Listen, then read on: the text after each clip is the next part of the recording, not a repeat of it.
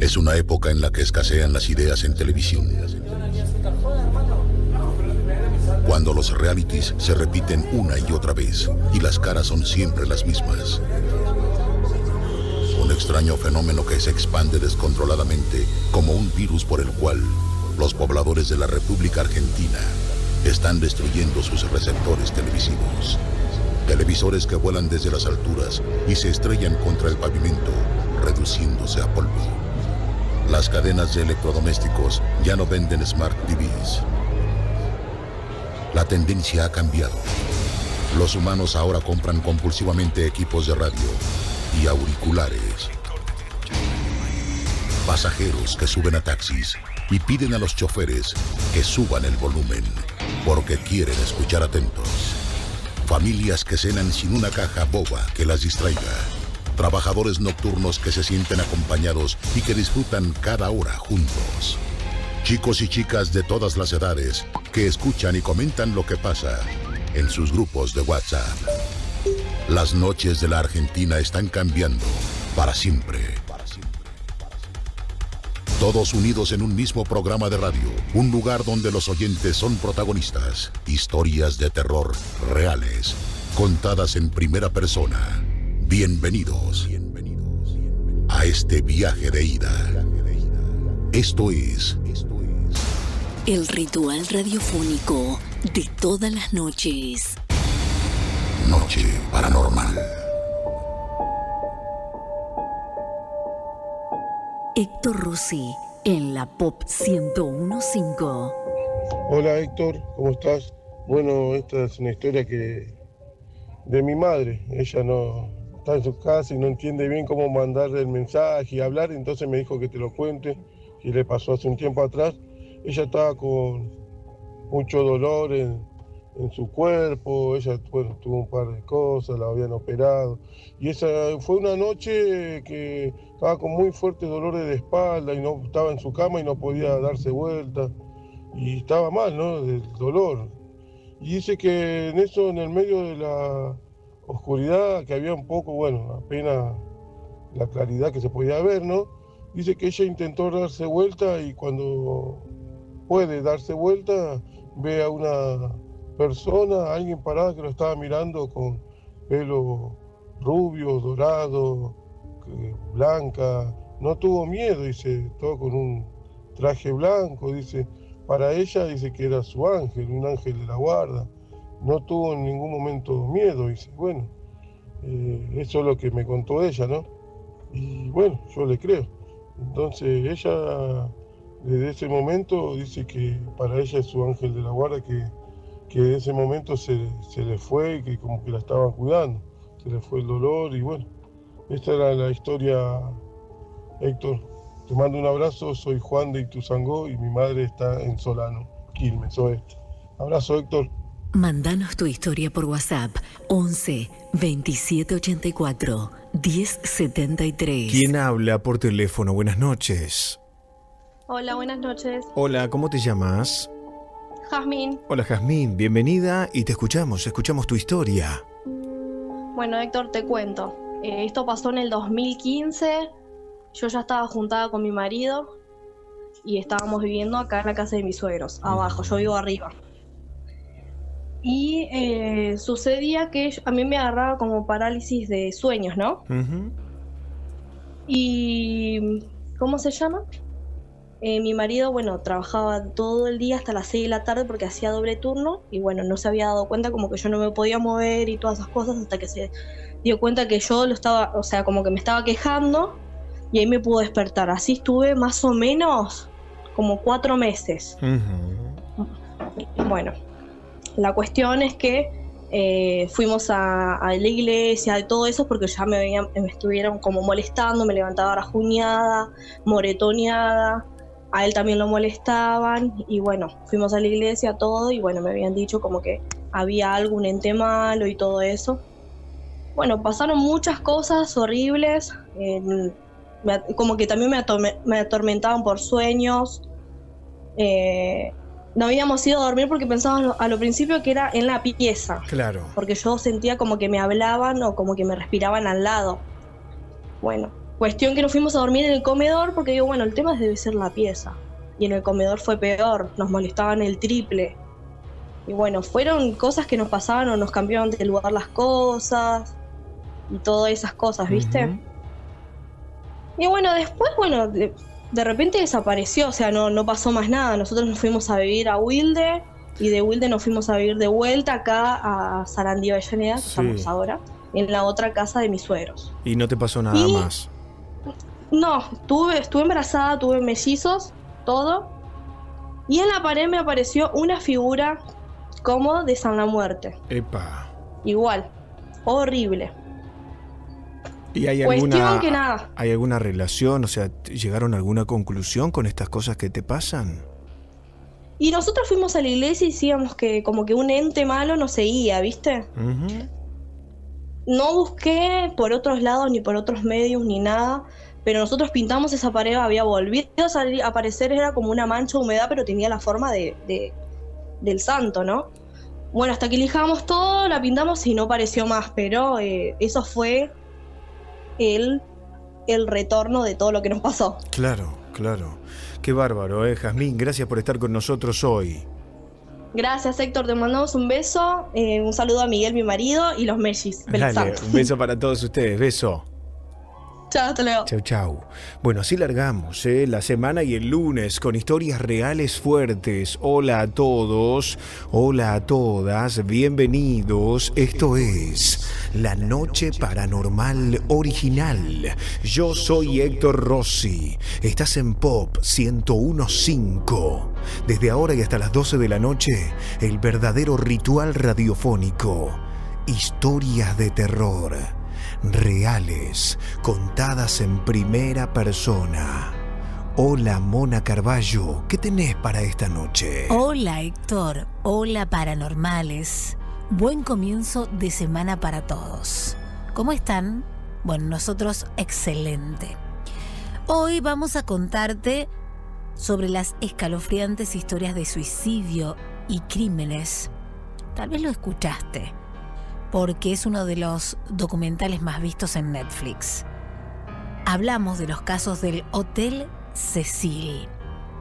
Un sinfín de situaciones oscuras y de misterio no resueltas han hecho tristemente famoso a este hotel también llamado Hotel Muerte o el Hotel Suicida.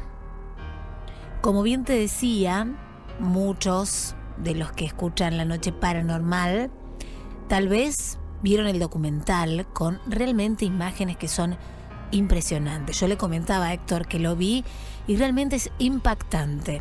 Y es tan famoso, está ubicado este hotel en Los Ángeles, que Netflix lo llevó a la pantalla. Si vos lo viste al documental o no querés contar, por supuesto, lo podés hacer a través de nuestras redes sociales arroba Héctor Locutor OK en Instagram, arroba Héctor Locutor en Twitter, hashtag Pop Paranormal y como siempre, como todas las noches, con historias de ustedes y nuestras a través del WhatsApp Paranormal 11 27 84 1073. Gracias, Mona. Hoy hay Historia Central Estreno. Suban el volumen. Este es un adelanto. Esta es la historia real de Adrogué Tenebrosa en primera persona. Me llamo Joaquín. Ahora vivo en Brasil. Vieron que siempre aparecen día a día anécdotas aterradoras que tienen como protagonistas a algunas casas alrededor del mundo, cada vez más oscuras. Yo les aseguro que la más oscura de todas nunca va a ser superada y pasó en Argentina. Haciendo una media hora en tren desde Constitución en el ramal Gleu, lo más tétrico que me pasó en la vida y la casa más tenebrosa que hubo, hay y habrá, está en Adrogué. Sabrán entender que no dé su ubicación exacta. Aún me quedan amigos allá y no quiero que se vean perjudicados. Al principio la zona fue de quintas y de a poco se hicieron casonas, siendo un destino turístico a principios del siglo XX. Las mansiones solían estar hechas a todo trapo por arquitectos financistas italianos e ingleses y una de esas casas, que sobrevivió hasta no hace mucho, es donde sucedió esta historia. Esta finca de estilo normando estaba ubicada a lo que en la época de su construcción eran las afueras de Adrogué y fue considerada por muchos años como el lugar más bello y aterrador de todo el mundo. Su primer propietario fue John Michael Whiteford en 1873, después de haber terminado su trabajo en el trazado del ferrocarril para la empresa británica que creó este ramal. Whiteford era muy escéptico pero tras su viaje a la India, donde trabajó para la Compañía Británica de las Indias Orientales, se convirtió en una persona bastante creyente en lo paranormal y regresó asegurando que era completamente cierta la reencarnación. En su caso, él siempre estaba rondando a una ama de llaves, que era una mujer joven y hermosa que tristemente apareció muerta en la cerca de la casa sin que se supiera jamás el porqué de su fallecimiento. Tras este hecho, él nombró a la casa La Valentina por ella y nunca se casó ni tuvo hijos. Durante sus años en su casona de Adrogué, Whiteford miraba los caniles de los perros asegurando que ellos expulsaban los fantasmas y que después de morir, él mismo volvería a habitar la Valentina, reencarnado en uno de esos perros. Muchos dicen que era por el espanto que le causaba el fantasma de Solo un adelanto de esta historia central, estreno de noche de lunes. Solo un adelanto. ¿Qué les pareció hasta aquí? Solo un adelanto. ¡No! Sí. ¿Cómo que un adelanto? ¡No! ¡No! ¡No! Quédense con nosotros, numeral pop paranormal. ¿Qué les pareció hasta acá? Numeral pop paranormal. Hoy en Twitter subimos fotos de cementerios y estatuas de cementerio. Fotos de cementerio y estatuas de cementerio con el hashtag numeral pop paranormal. Fotos de cementerio y estatuas de cementerio. Completamos la tanda con los espacios cedidos a los partidos políticos. Última semana de esta parte de la campaña. Última semana de tandas largas. Y arrancamos con todo. No se vayan. Estás escuchando a Héctor Rossi hasta la medianoche acá en la Pop 1015. Estás en la Pop escuchando a Héctor Rossi.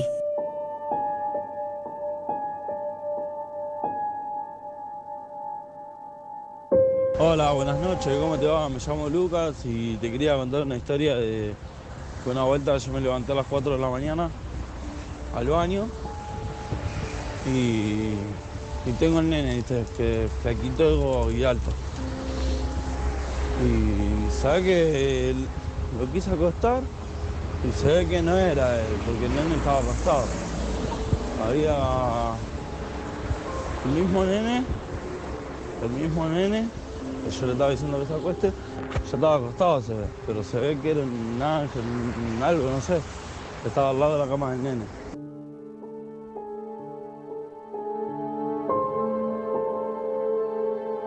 Noches, me llamo Lucas, soy de José Cepaz y quería contar mi historia sobre el tema ovni. Bueno, esto fue cuando yo tenía 17 años, un día cerca del mediodía, tipo 2 y media, una.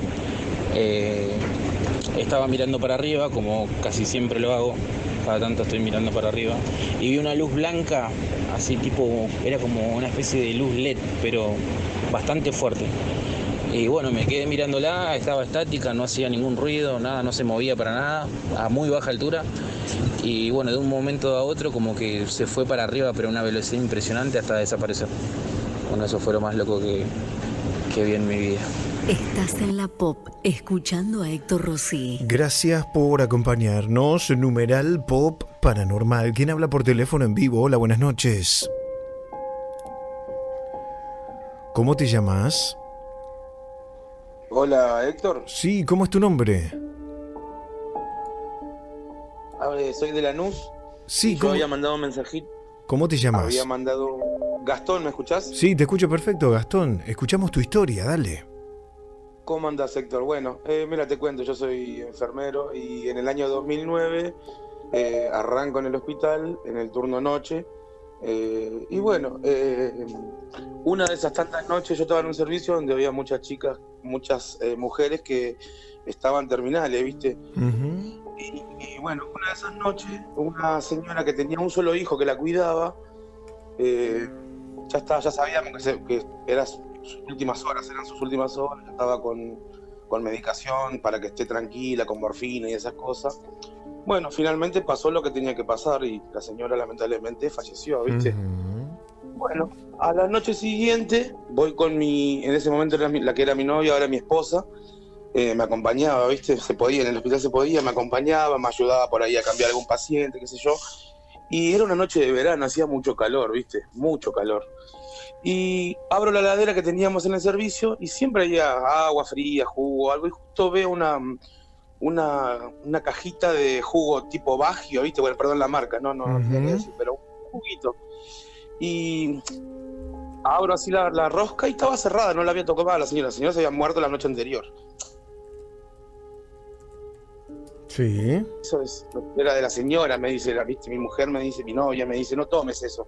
Digo, pero si la señora ya falleció y está cerrado, le digo, voy a tomar un traguito. Claro. Y la agarro, la levanto y le digo, no, jodiendo, ¿viste? Así, tiro al aire y digo, un trago de tu jugo, si ya no, ya no la vas a usar. Y vos sabés que teníamos unos bidones como de 10 litros, de 10 litros de alcohol, pervino, esas cosas, ¿viste? Para desinfectar. Y se agarra y se levanta, como que se levanta y se cae, se tuerce, ¿viste? Se cayó, era imposible que se caiga, que se caiga semejante bidón cargado de líquido, re pesado era imposible. Y se cayó de la nada. Era, te digo, no había viento, no, era una noche de verano, hacía un calor terrible.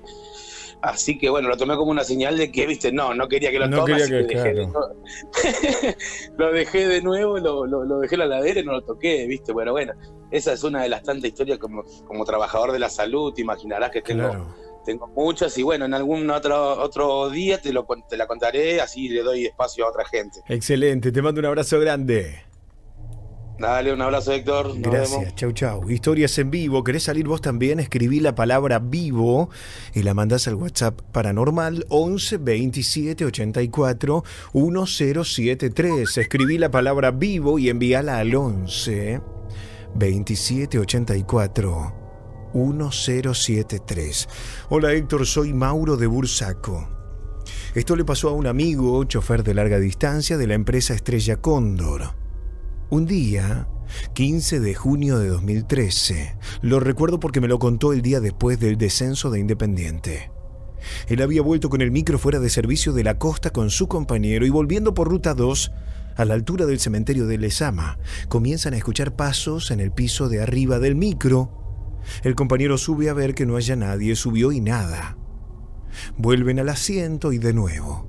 Ya no pasos, sino corridas en el piso de arriba. Asustados, paran en un parador muy conocido para cargar agua para el mate y ahí es en donde sacan una foto.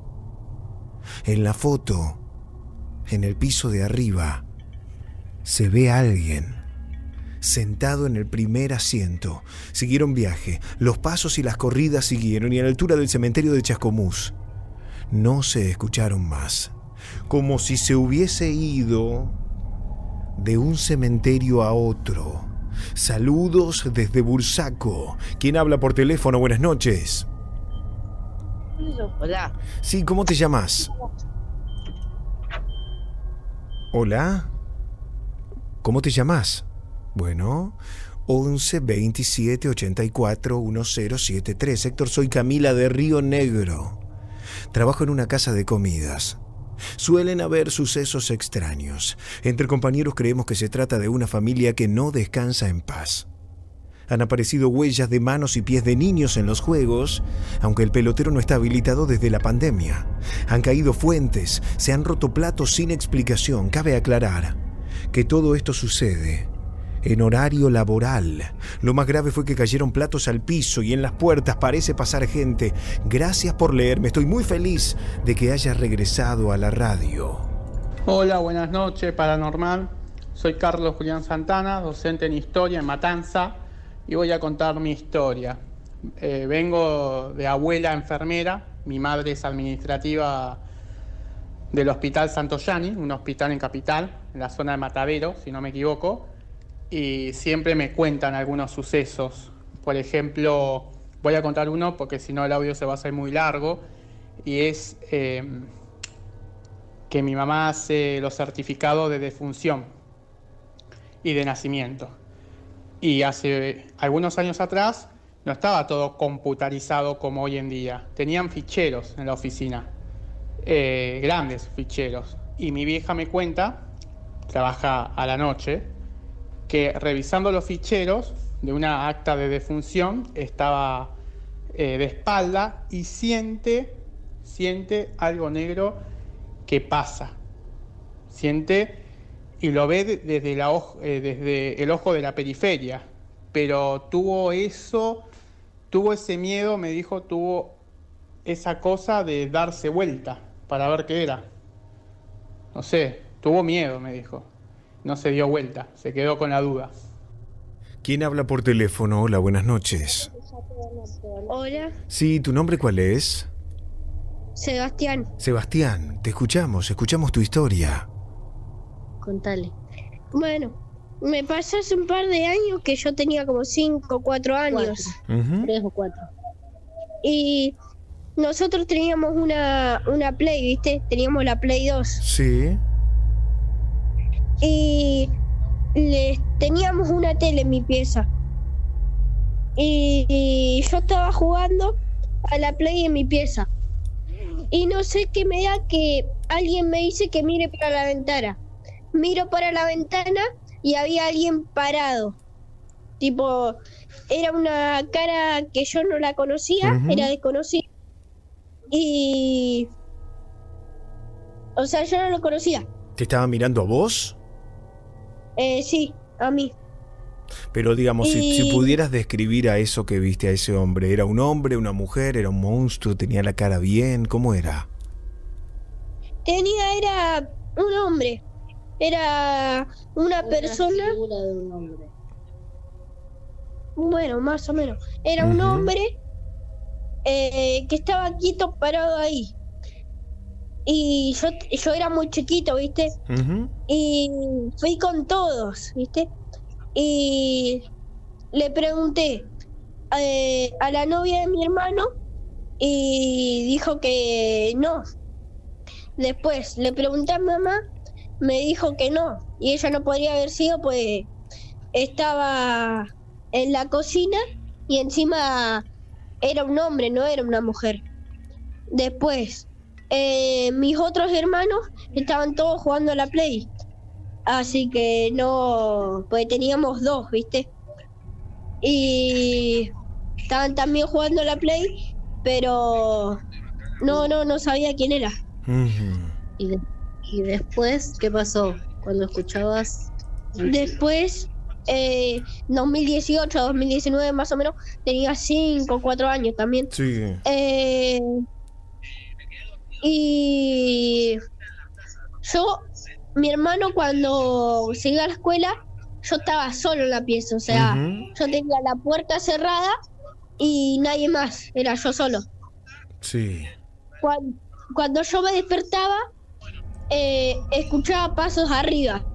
En la pieza de tu hermano. En la pieza, sí. La pieza de mi hermano. Escuchaba pasos arriba, porque teníamos dos. La habitación de abajo y la habitación de arriba. ¿Viste? Yo eh, escuchaba pasos arriba y eran unos pasos que primero hacían pum, pum, pum y después iban más rápido. Y en una parecía que eh, iba a bajar alguien de la escalera. Y yo salía, ¿viste? Salía de la pieza. Y siempre me pasaba eso. Dios mío. ¿Y cuándo terminó de pasar? ¿Cuándo dejó de pasar? Y cuando crecí, que tenía 6, 7 años, en 2020 más o menos por ahí, que empezó a, a estar la pandemia. Gracias por contarnos tu historia. Te mando un beso. Eh, un, minu- un minutito, por Sí. favor. Quiero que le cuente cuando tenía tres años la experiencia que tuvo, porque esa fue una buena experiencia. A ver. Contale. Bueno, son dos historias cortitas también. Sí.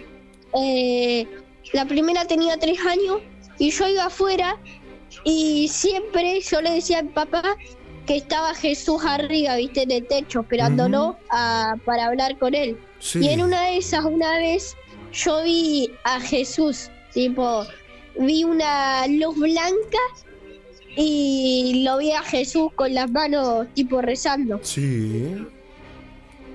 Y Quería hablar con papá. y quería hablar con mi papá. Jesús ¿Viste? quería hablar con tu papá. Sí, sí, le, te- le decía que tenía algo que decirle. Ah. Y lamentablemente mi esposo nunca salió y nada, nos quedamos con la duda de, de qué veía él. Claro. Pero él asegura que era Jesús. Dios mío, ¿y había una más para contarme? Y otra más. Sí, esta es la última. Hace poco, eh, yo estaba a punto de visitar a mi hermano que se llama Lucas, ¿viste? El que participó la otra vez, Sí. Antes de ayer. antes de ayer. Bueno, eh, o ayer, no me acuerdo muy bien. Eh, bueno, ese es mi hermano, ¿viste? Y bueno. ¿Lo ibas a eh, ir a visitar? Lo iba a ir a visitar y yo me estaba bañando, ¿viste? Sí. Y en una de esas veo como el vasito, pues nosotros tenemos un vaso en el baño, Ujú. como ese vasito se mueve. Sí. Y yo la única forma que me pude tranquilizar fue diciendo que fue pensando cosas, tipo diciendo, no sé, los fantasmas no existen y todo Mm. eso, ¿viste? Claro. Esa fue la única forma que me pude tranquilizar. Dios mío, te pasó de todo. Te mando un beso. Muchas Bueno, gracias. Gracias. Gracias. Gracias por escucharnos también. Qué de historias. Y los chicos que tienen mucho, mucho acercamiento al fenómeno paranormal. ¿Querés contarme tu historia? Escribí la palabra vivo y envíala al WhatsApp paranormal, que es el 11 27 84 1073. La palabra vivo al 11 2784 1073. En Instagram subimos el video del nene fantasma en el cementerio, en el Panteón de México. El video ya está subido en arroba pop radio 1015 en el Instagram de la pop. Arroba pop radio 1015. Metete, dale like, comentalo.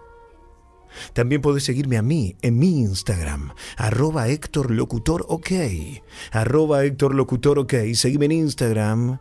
Comenta el video, etiqueta a tus amigos o amigas paranormales, compartí el video en tus historias de Instagram. Arroba Héctor Locutor OK.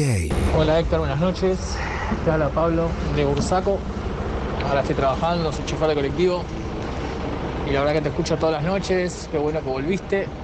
Se te extrañaba un montón. Y te voy a contar una historia cortita, eh, para no hacerla muy larga. Eh, hace 10 años estaba de novio con la que fue mi señora, que falleció hace un poquito más de un año. Eh, estábamos de novios y nos fuimos a tomar unos mates a la laguna de San Vicente a la noche, un sábado a la noche. Y estábamos ahí, había varios autos ahí, porque en ese momento se podía estar ahí, bueno, el apriete normal de, cualquier pareja que de novio, pero nosotros fuimos a tomar mate, a pasar un rato agradable juntos arriba del auto, era de noche. Eh, y bueno, en, ese momento que estábamos tomando mate, ella me agarra y me empieza a decir que se sentía mal, como que sentía un frío en el cuerpo, eh, que no se sentía bien, esta- estaba, había neblina también y había varios autos estacionados, no, no estábamos solo nosotros. Y en eso yo me doy vuelta porque es como que sentía algo. Me doy vuelta y detrás de un árbol, a unos 40 metros más o menos donde estábamos nosotros, se ve como una figura peticita negra, como un, un enano negro, una cosa desagradable, con, con unos ojos, bueno, eh, no eran ojos rojos, pero como que se notaban los ojos. Y no lo vi solo yo. Eh, mi novia en ese momento no lo vio porque ella no se quiso dar vuelta. Cuando yo le estoy diciendo, ella no se quiso dar vuelta, se puso nerviosa, quería que nos vayamos, que nos vayamos. Así que puse el auto en marcha y, salimos del lugar. Pero cuando estábamos saliendo, se ve que nosotros solo, yo solo no lo vi porque eh, los, que estaban en los otros autos se empezaron a bajar con linternas. y, enfocando hacia ese lugar. Cuando ya enfocan al lugar no se veía esa, esa figura. Y cuando paso con el auto cerca del, lugar, porque teníamos que salir por ahí sí o sí, era la única salida que había, se, veía, se vio como una caja con, con un montón de flores y velas prendidas y no sé qué, cosa era en ese lugar. Y ya había como cuatro o cinco personas enfocando con linterna porque se ve que habrán visto lo mismo que yo. Así que bueno, esa es mi historia. Les mando un abrazo, qué bueno que volvieron y nada, acá lo estamos escuchando desde hace años. Suerte. Mandanos tu historia por WhatsApp 11 2784 1073. ¿Quién habla en vivo? Hola, buenas noches. Hola, ¿estás ahí? Hola, buenas noches por teléfono. ¿Quién habla? Hola, buenas noches. Hola, Sí, ¿cómo te llamas? Gustavo. Gustavo, te escuchamos, escuchamos tu historia. Sí. eh, ¿Puedo contar mi historia ya? Sí, claro, estás al aire, te escuchamos. Ah, estoy al aire ya, mirá, no sabía. Bueno, te paso a comentar. Te paso a comentar. No estoy en el aire, estoy escuchando la radio, me están mintiendo. Te- estás en el aire, querido. Si querés aprovechar la oportunidad de salir al aire, es ahora o nunca. Gustavo. Tanto dolor. Tanto Incorrecto. Ay, este está papoteando. Ay, Dios y la Virgen. 11 27 84 107. No rompan el clima.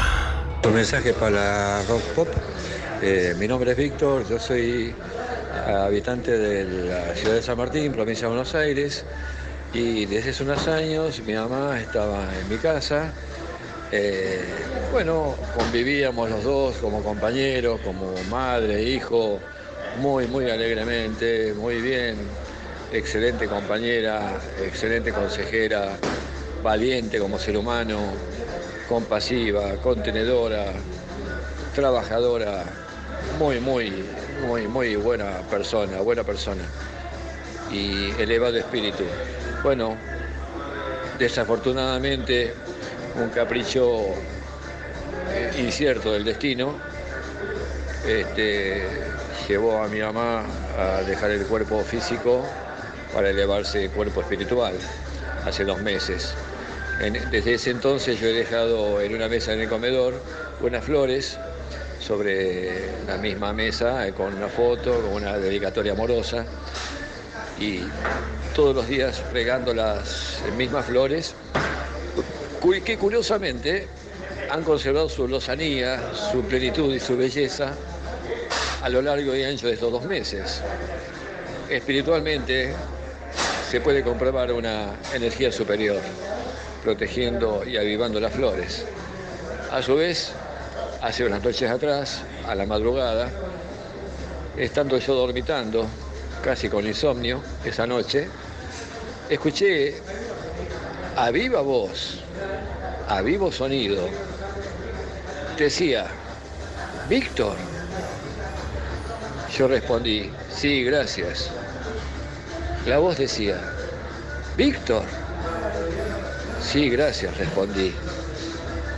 Y quedé despierto un rato.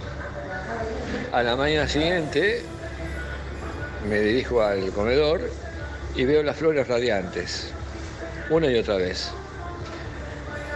Es una conexión, yo creo que espiritual, que tenemos con mi queridísima y bienaventurada mamá, Gracias por contar tu historia. ¿Quién habla en vivo? Hola, buenas noches. Hola, buenas noches. Gustavo, Buenas noches. Hola, Gustavo, te escuchamos, escuchamos tu historia. Baja la radio, escúchame por el teléfono. Espera, ¿ahí me escuchás? Sí, ahora te escucho mejor. Adelante, te escuchamos a vos. Héctor, el tema fue así. eh, esto pasó hace 22 años más o menos. Eh, yo tenía una abuela que cuando yo era chico, como a todos los chicos que le daba miedo irse a dormir solo, me decía que todos teníamos un ángel de la guarda que nos está mirando y nos está cuidando. Bueno, toda la noche lo mismo. Eh, estamos hablando al- 10 años, 12 años después de, que mi abuela me decía eso, mi abuela falleció.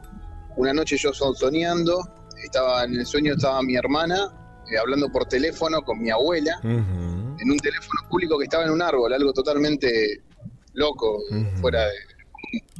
Eh, yo le empecé a pedir a mi hermana que por favor me deje hablar con mi abuela. Bueno, el tema es que se corta la comunicación. Eh, yo en el sueño me pongo a llorar y me despierto llorando en la realidad, digamos, ¿no? En la cama, acostado. Eh, ya desde cuando me empecé a, refregar los ojos porque salía del, sueño, eh, la luz que yo veía en mi pieza no era normal. Y bueno, yo en la punta de la cama tenía una, una silla y una, un ventanal. Sobre esa silla, eh, lo que yo fui, lo que yo vi fue un ángel. Con las alas abiertas, eh, elevándose hacia lo que sería el techo de mi pieza.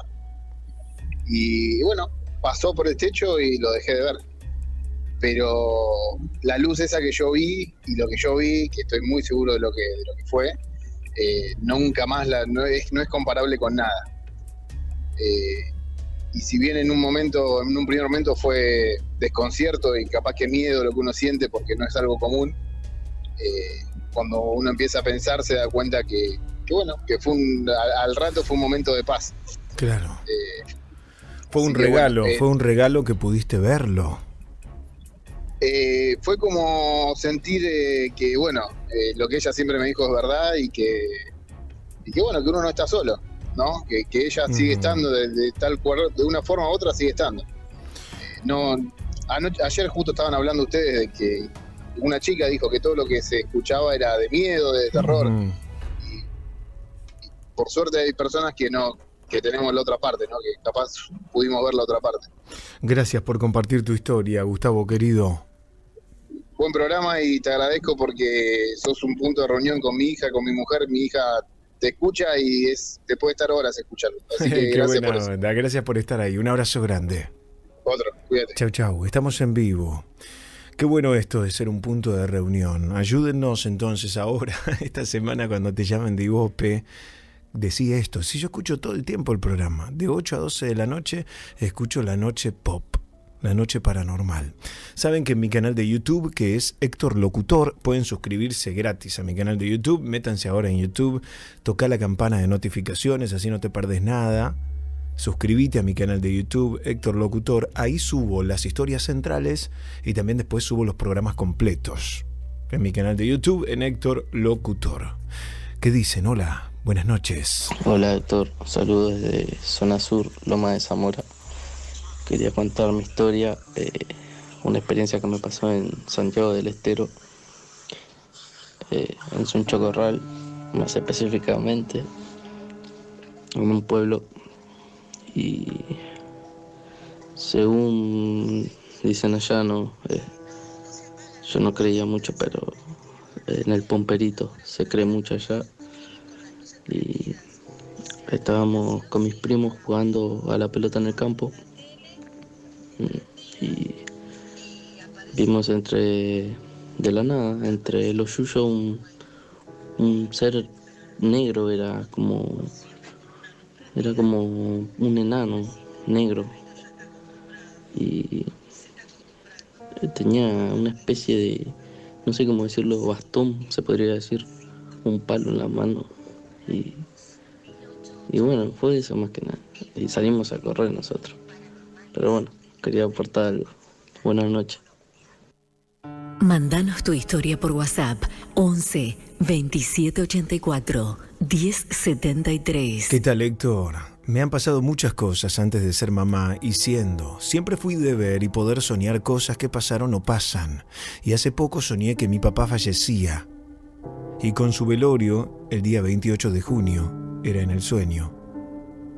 Tal cual estaba, pasó y falleció. Llegué al velorio de verdad y era igual que como lo había soñado. Lamentablemente, recuerdo también una tarde calurosa en abril. Me sentía mal por el embarazo, sentí como me rasguñó una presencia, una chica pálida con uñas largas y vestido negro. La sueño hasta hoy. Tuve mi bebé, y me quedó la marca. Soy Celeste de Buenos Aires, son unos genios, me encanta el programa. y me encanta la radio. Buenas noches, mi nombre es Abad y cuando era cadete del Colegio Militar de la Nación estaba haciendo mi guardia y en la compañía donde había un baño clausurado se abría la ducha. Eh, esa es la, la actividad paranormal que me tocó. Nunca supimos por qué se abría la ducha, el baño estaba clausurado y tenía la llave de paso cerrada.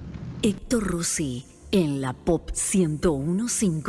Buenas noches, mi nombre es Emiliano, soy de Corrientes Capital, ahora estoy trabajando esta noche y mi historia que quería contar, que por favor la, la pongan al aire, es que hace cinco años me fui con mi pareja al cementerio a prenderle vela a mi papá y no tenía encendedor ni fósforo y un señor se ofreció, un señor que él me dijo que estaba trabajando ahí, me ofreció su encendedor y él prendía su cigarrillo y me prestaba el encendedor. Bueno, seis meses después volvimos al cementerio con mi, eh, con mi pareja a prenderle otra vez vela a mi papá y estaba un muchacho limpiando ahí y yo le dije si se me podía dar agua para, para limpiar las cosas acá. Me dice sí. Y yo le, yo le comenté que un señor me había prestado su encendedor para prender la vela y él me dijo que, que su abuelo había muerto hace 30 años. Yo le di tal cual la descripción, la descripción de, del señor y me dijo, sí, es él. Pero hace 30 años murió. Y yo me quedé helado. Mándanos tu historia por WhatsApp 11 2784 1073. Buenas noches para todos los paranormales. Les cuento que hace unos años fuimos de pesca con dos amigos a la costanera cerca de Aeroparque. Era de noche y apareció una luz que levitaba en el medio del río. Se quedó ahí por un largo rato. Se empezó a hacer cada vez más grande y de la nada, como un flash, desapareció. Yo le dije a mis amigos, eso era un ovni. Sin duda, uno de ellos no recuerda haberla visto pero sí la vimos. Héctor, mi historia es que yo estaba con mi hermano, estábamos jugando, tocan la puerta, esto pasó a las 3 de la mañana en el medio de mi casa, miro por la mirilla y veo a un hombre encorvado, de pelo blanco y medio pelado, con un bastón. Vuelvo y le aviso a mi papá. Cuando rápidamente él sale, abre la puerta, no había nadie. Era imposible que ese viejito hubiera corrido o desaparecido. Con el tiempo nos enteramos que el anterior dueño de la casa era muy parecido a esa imagen que yo vi, y todos entendemos que el fantasma quedó del lado de afuera. Héctor, buenas noches para todos. Soy Alan de Lomas. Te cuento mi historia. En 2015 estudiaba en el profesorado de educación física y nos fuimos con mis compañeros de viaje a San Rafael, Mendoza. En una de las excursiones Íbamos en micro por una ruta en medio de la montaña y cuando estábamos bastante adentrados entre la montaña y alejados de la ciudad, el micro se para de la nada y bajamos todos para aprovechar y caminar. De repente una compañera nos llama a los gritos. Cuando vamos, nos muestra un portón cerrado, con una reja. Ingresaba un túnel, una de las paredes de la montaña. Aunque varios no querían, decidimos abrir la reja y entrar. Vimos un lugar lleno de velas y esqueletos de animales. Salimos corriendo, pero estamos seguros de que las brujas existen y se reúnen allí. Héctor, muy buenas noches para todos. Me llamo Laura. Te cuento, una mañana, saliendo del hospital Evita de Lanús, iba caminando sola por la avenida San Martín. Veo que detrás mío venía una anciana, de pelo largo, bien blanco y camisón blanco. Yo seguía caminando y a la vez miraba de costado para verla y ella seguía caminando detrás de mí, así dos cuadras. Me dio miedo por su apariencia, entonces me detengo y le digo, pase señora y ella se desvaneció. Me temblaba el cuerpo, no lo podía creer. Les aseguro que mi historia es real.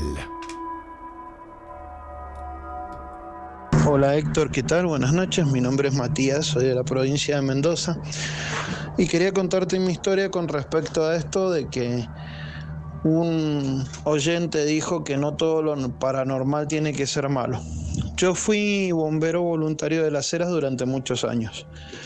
Un día me desplazan a un incendio de una casa de familia. ya habíamos apagado el fuego y estábamos haciendo el trabajo de enfriamiento y remoción de escombros para ver que no quedara fuego debajo de los escombros. En un momento le digo a mi compañero que por favor fuera hasta el móvil, que estaba a unos 50 metros, a buscarme agua porque tenía sed. Mi compañero se va. Pocos segundos después de que mi compañero se va, escucho que me llaman. Matías, me doy vuelta, no había nadie. Bueno, sigo trabajando. A los pocos segundos de nuevo. Matías, mm, me doy vuelta, no había nadie. Sigo trabajando. A los pocos segundos un tercer llamado. Matías, vení. Entonces en ese momento yo corté el agua de la manguera, dejé la manguera en el piso y cuando voy saliendo de la habitación se cae el techo, tal cual lo escuchas Héctor. Llego hasta el camión, le pregunto a mis compañeros y nadie me había llamado.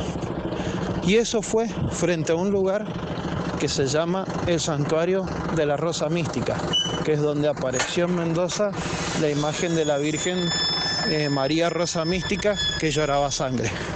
Gracias por escucharme.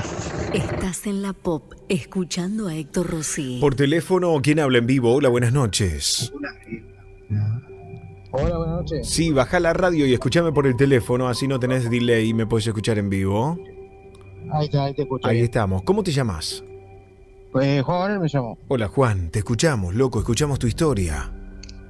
Bueno, esto me pasó el año pasado. Eh, bueno, yo estaba yendo a hacer un curso a La Plata. Yo soy personal policial. Ajá. Estaba yendo, estaba volviendo de la Bucetich. Bueno, me adelanté, perdón. Te cuento cómo empezó la historia. Sí. Eh, bueno, esa noche anterior eh, estaba hablando con mi suegra y ella es muy devota de los santos, ¿viste? Y me dio una estampita de, de San Expedito. Me dice, llévala con vos, me dice mañana que te va a dar suerte. Ah, yo no creo en los santos, una estampita, no. No soy devoto de eso. y, y bueno, la, la dejé junto con la llave. A la mañana siguiente me levanto temprano y agarro la llave y veo la estampita. La agarro y con desconfianza y la llevo o no la llevo. Y si la llevo y me pasa algo justo hoy, qué sé yo, por respeto a mi suegra la llevé. Entonces, eh, bueno, todo, todo bien ese día. A la vuelta, volviendo con mis compañeros, eh, llego al peaje de, de Gaona y e Ituzaingó. Y vos sabés que pongo primera y cuando quiero apretar el embrague se me va al fondo. Se me corta el embrague. Uy, Dios. Y bueno, me ayudaron ahí la gente que estaba en el peaje. Y bueno, puse primera y llegué hasta, hasta Camino a Buen Aire. Y ahí esperé la, la grúa de la, de la autopista que me baje para pedir la grúa del seguro. Claro. Bueno, mientras estoy esperando, miro así el tablero, que veo la estampita de, Uy, uy, uy. de este santo. Sí. Y me agarró una ira y agarré y lo, repu- lo reputié Sí. de todo, dije, viste. Le mandé un video a mi suegra diciendo, culpa de su santo. ¿Te puedes imaginar? Entonces, bueno, me baja la grúa, espero la grúa del seguro hasta que me lo llamé al mecánico y le digo, che, ¿te puedo llevar el auto que se me rompió? Sí, sí, tráelo, tráelo, me dice. Y yo siguiendo, viste, puteando al santo. Y al otro día, eh, antes de ir a la casa del mecánico, eh, me di cuenta que me faltaba un tarjetero, viste, yo tengo un tarjetero donde guardo la tarjeta y el documento. Le digo, escuchame, le digo, no, no me olvidé en el en la guantera ahí un tarjetero. Sí, sí, me dice. Acá está. Bueno, voy y busco la, el tarjetero. Cuando abro, me di cuenta que la, la estampita está arriba del tarjetero. Vos sabés que voy a comprar los repuestos y le doy la. para saco la tarjeta para, para pagar, ¿viste? Sí. Héctor, todas las tarjetas dobladas. Dios no me mío. servía ninguna. No me servía ninguna, Héctor. Ni una. Tuve que renovar todas las tarjetas. Cosa de querer o reventar. Yo te lo creo. Gracias, loco, por estar con nosotros. Bueno, un saludo grande a todos los compañeros. Saludos, Eh, gracias por escucharnos. Chau, chau. Dale, pa, muchas gracias, chao. Qué historia, ¿no? Qué historias fuertes. Estamos en vivo. Escribí la palabra vivo al 11 27 84 1073. Ya vuelvo. Hoy no estás solo. La noche paranormal. Hasta la medianoche. Escuchás a Héctor Rossi en La Noche Paranormal. Paranormal. Paranormal. Buenas noches, mi nombre es Abad y cuando era cadete... Hola, soy Marcelo de Castelar Sur. Esta historia sucedió hace 35 años, más o menos. Y bueno, me acoplo al muchacho que vive en Duende. Yo también acá eh, vivo cerca de la base aeronáutica, a una cuadra, y vi también un duende.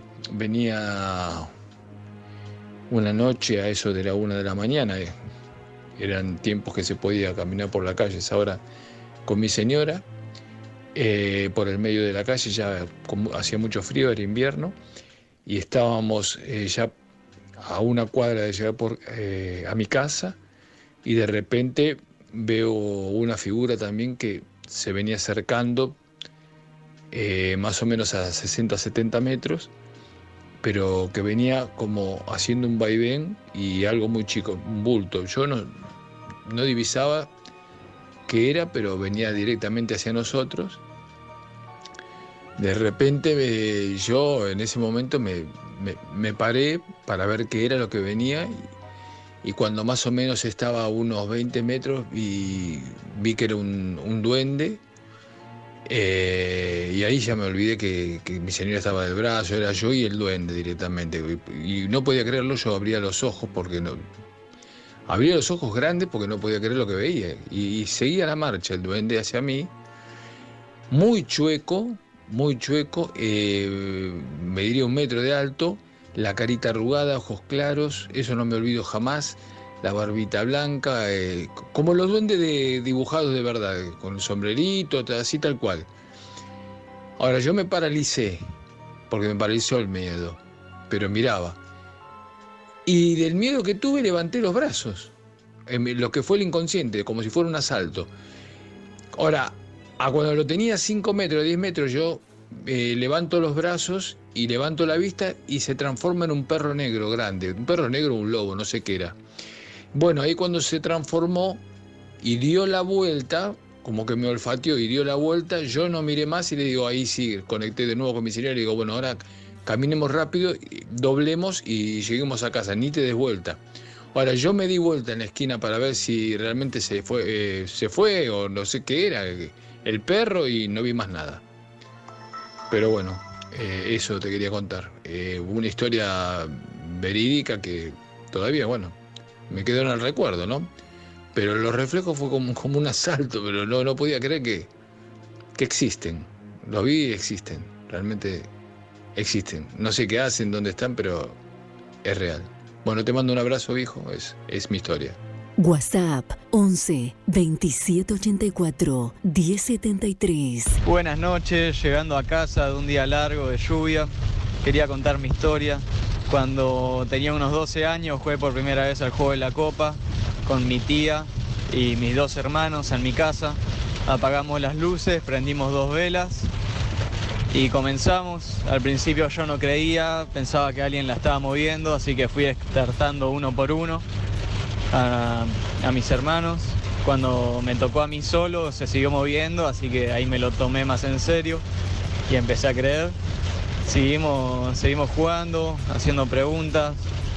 Eh, la copa siempre moviéndose, respondía correctamente. Hasta que en una se nos ocurrió preguntar si, eh, con, quién, con qué espíritu estábamos charlando.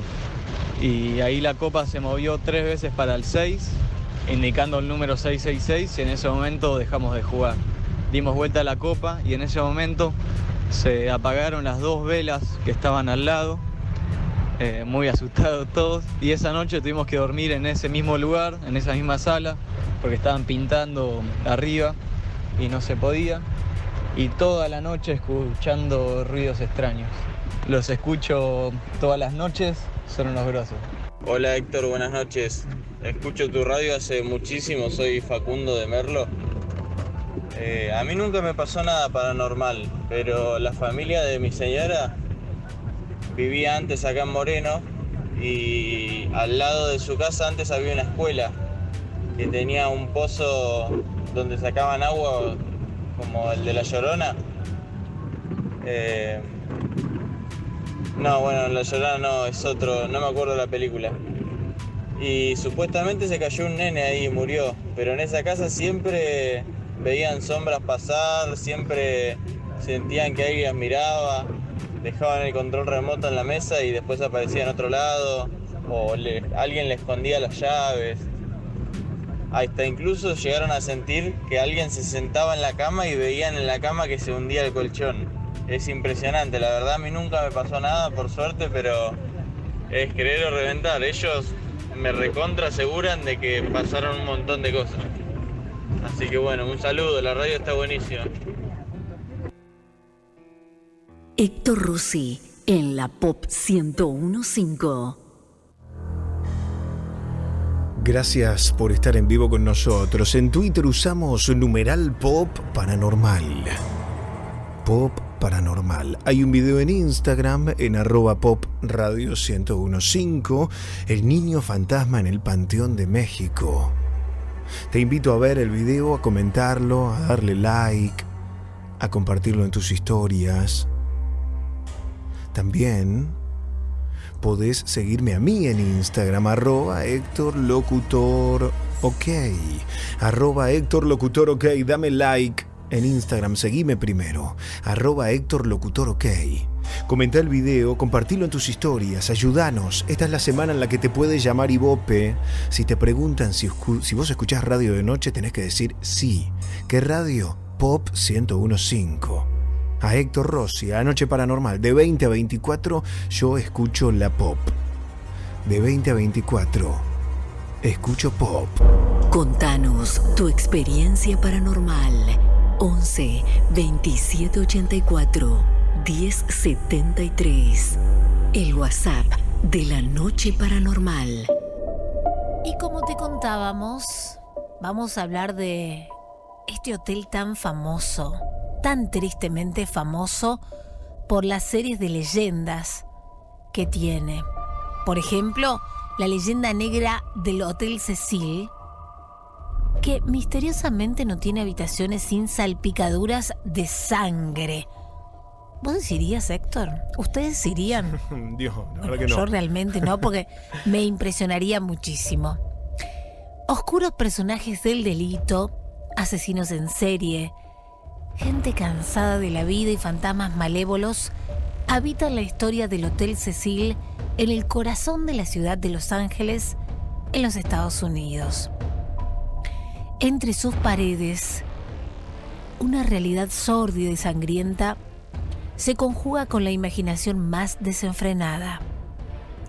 Prostitución, robos, comercio de drogas, suicidios, homicidios, violaciones y hasta fenómenos paranormales atribuidos a espíritus malignos. Han convivido durante décadas con los audaces huéspedes que sobreviven a su maldición.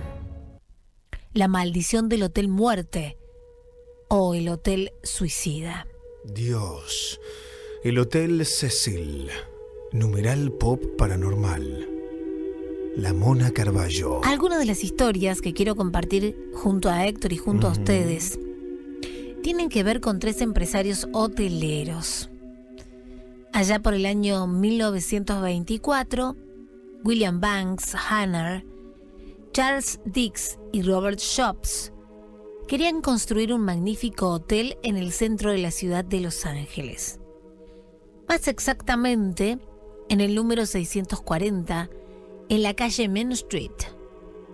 Lo bautizaron Hotel Cecil y tenía como objetivo albergar a turistas y ejecutivos de negocios de alto perfil.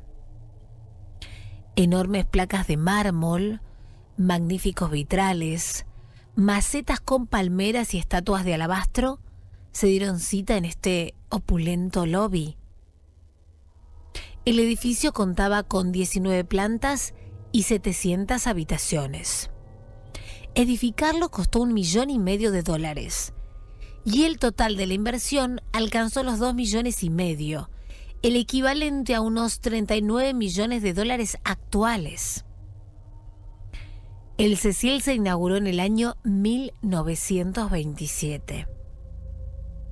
No pasó mucho tiempo hasta que sus dueños enfrentaron el primer desafío, la Gran Depresión de 1929. La crisis económica puso stand-by los glamorosos objetivos del hotel. Los empresarios llegaron a la conclusión que, para sobrevivir, deberían abaratar los precios, alquilar las habitaciones a largo plazo.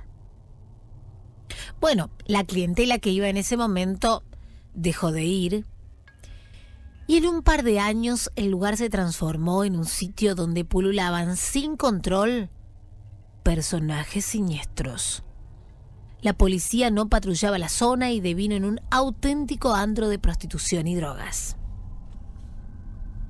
El hotel que aspiraba a ser un cinco estrellas había quedado en el camino y se había convertido en un sucio y peligroso hospedaje que no llegaba ni a las dos estrellas. En los años 40 hubo un intento para que el Cecil recobrara algo de ese elegante nacimiento, pero fue inútil. El área que lo rodea, Skid Row, era una zona roja que se había poblado de indigentes y marginales. Unos 10.000 vagabundos vivían en las cercanías del hotel, que se volvió un punto de encuentro cotidiano para prostitutas, amantes ilegales de bajo presupuesto, adictos perdidos y asesinos. Por esos años los criminales que eran detenidos por la policía solían compartir una particularidad.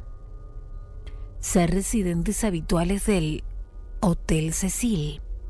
Todo esto condimentado con la alta tasa de suicidios que ostentaba el edificio, fueron configurando un legajo funesto.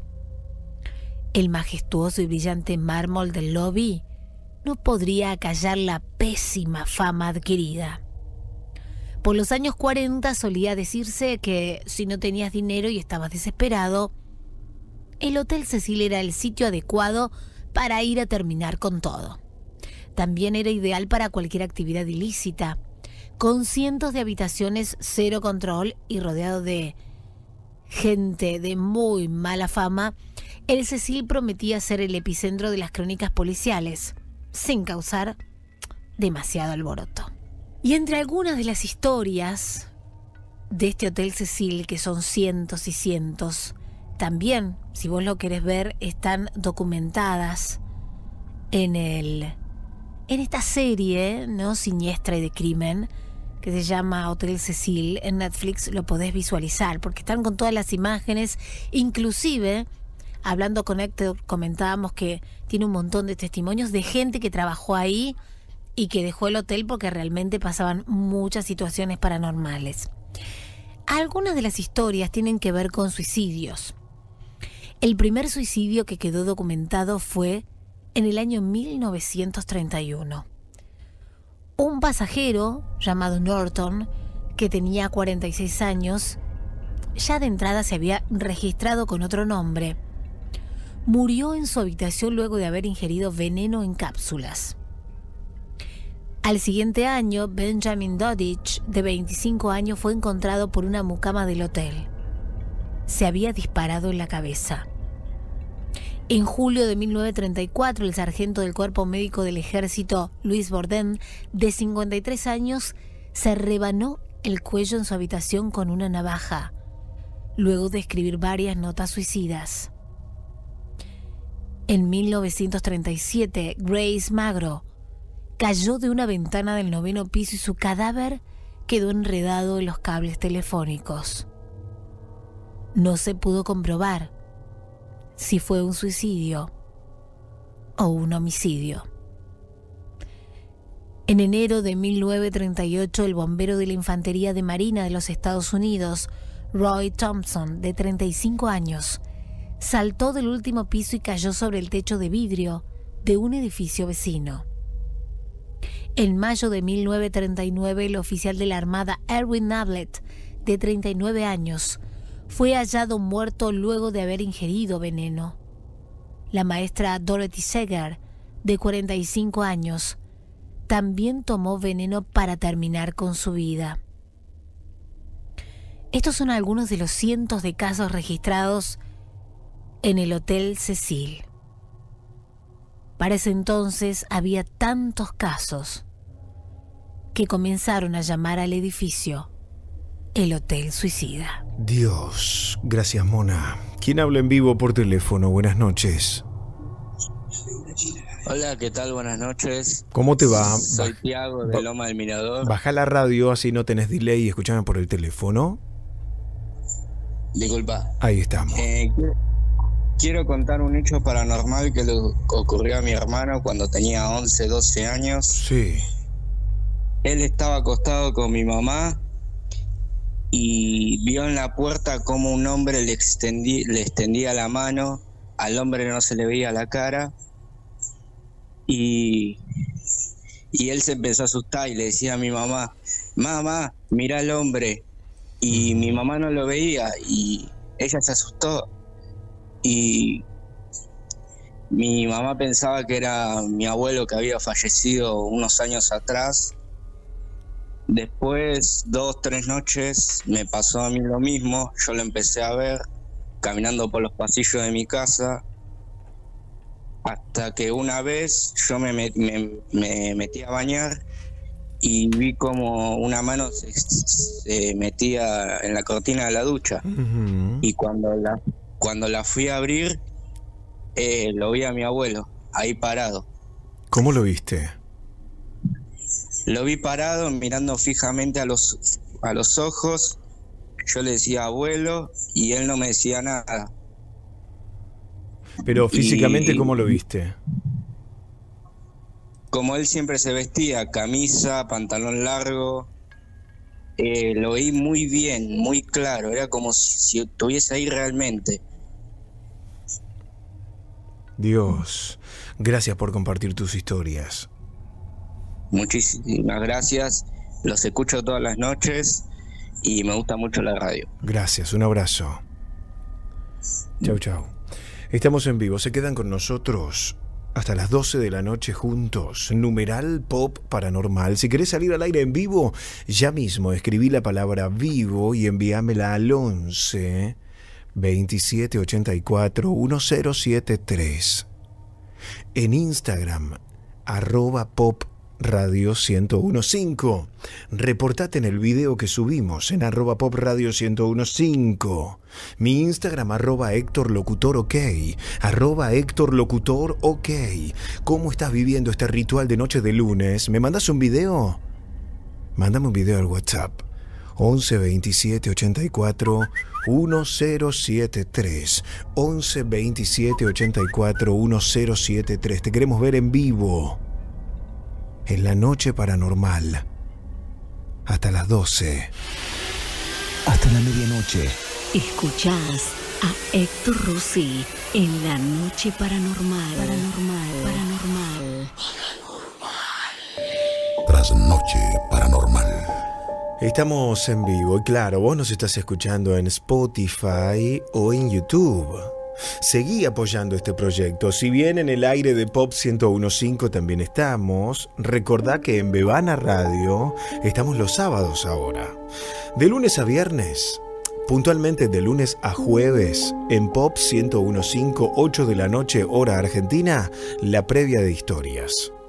De 9 a 12 de la noche en vivo, la noche paranormal en Pop 1015. Puedes escucharnos en Pop, bajate la aplicación de Pop Radio y escucharnos también por ahí en vivo.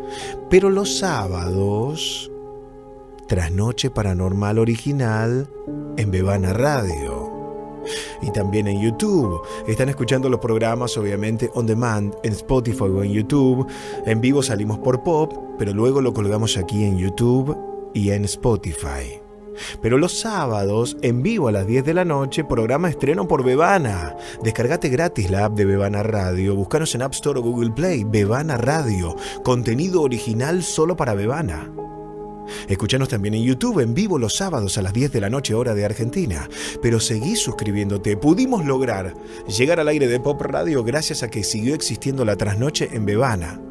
Por eso es muy importante que sigas suscribiéndote. Yo no quiero matar a Bebana Radio. Por eso voy a trabajar los sábados también haciendo la trasnoche paranormal en vivo de 22 a 1 de la mañana por Bebana Radio. Y también la voy a colgar aquí en YouTube. Y voy a seguir colgando los episodios en Spotify. Por eso es muy importante que te sigas suscribiendo 100 pesos por mes. Puedes suscribirte ahora entrando a www.bebanaradio.com barra me quiero suscribir. www.bebanaradio.com barra me quiero suscribir. O me mandas un WhatsApp, Héctor, quiero suscribirme a Bebana, quiero suscribirme a la trasnoche al 11 27 84 1073. Héctor, me quiero suscribir. 11 27 84 1073. Podés tomar el link de los 5 meses con súper descuento. Héctor, dame el link de los 5 meses al 11 27 84 1073 para que la trasnoche siga para siempre en pop, pero también en Bebana. Y también aquí en YouTube y también aquí en Spotify. Por eso, si estás en YouTube, dale like a este video, suscríbete a mi canal, me ayudas mucho para el algoritmo de YouTube si comentás algo aquí debajo, para que todo el mundo sepa que también puede escucharnos aquí en YouTube, además de estar en Pop 1015, además del bonus en Bebana, también en YouTube y también en Spotify. Suscríbete y ayúdanos a seguir al aire. www.bebanaradio.com barra me quiero suscribir. Si no me mandas un mensaje en cualquiera de mis redes sociales, en Twitter, arroba Héctor Locutor, en Instagram, arroba Héctor Locutor OK. En la caja de comentarios de este material, de este video, abajo tenés los links también para suscribirte. Es fácil. 100 pesos por mes. www.bebanaradio.com o me mandas un WhatsApp, Héctor, quiero suscribirme al 11 27 84 1073. Trasnoche paranormal. Estás escuchando a Héctor Rossi hasta la medianoche, acá en la Pop 1015. Yo vivía en España, en la provincia de Girona, en un pueblo que se llama Tamariú. Desde un pueblo que se llama Palafrugell a Tamariú hay unos 3, 4 kilómetros de curvas y contracurvas por un- una montaña que desemboca en una cala que se llama Tamariú. Ese recorrido lo hacía cuatro veces al día, casi de memoria. Entre una de esas curvas y contracurvas, mi suegra, que, ya no está entre nosotros, eh, siempre me explicaba que había tenido un accidente y que ella había salido despedida por la luneta delantera, o sea, por el vidrio de adelante. Habían volcado y ella había salido despedida y se había perdido. Eh, siempre fue esa historia cada vez que pasábamos por esa curva y contracurva. Un mediodía yo volvía, ya no estaba entre nosotros, mi suegra ya no estaba entre nosotros. Eh, mucha estima no me tenía, pero bueno, eh, en una curva y yo venía por ahí y veo que a 3, 4 metros se me acerca una camioneta blanca en, mi dirección. Y tengo un choque frontal. En ese choque frontal yo quedo apretado eh, en el coche y, y bueno, la camioneta esa salta por encima mío y queda atravesada en la, en la ruta. Tardaron, vinieron tres dotaciones de bomberos, tardaron tres horas en sacarme. eh, ¿Y cómo se llamaba mi suegra, mi ex suegra? Silvia. Esa camioneta, en ese mismo lugar donde ellos habían tenido el accidente 20 años atrás, fue el mismo accidente donde yo lo tuve. ¿Cómo se llamaba la empresa de la camioneta? Bodegas Silvia. Eso es uno de los tantos relatos que puedo comenzar a contar de mis 20 días de coma que luego sufrí, dos años de rehabilitación para caminar, 40 bolsas de sangre me pusieron y 14, 15 operaciones en esos 20 días.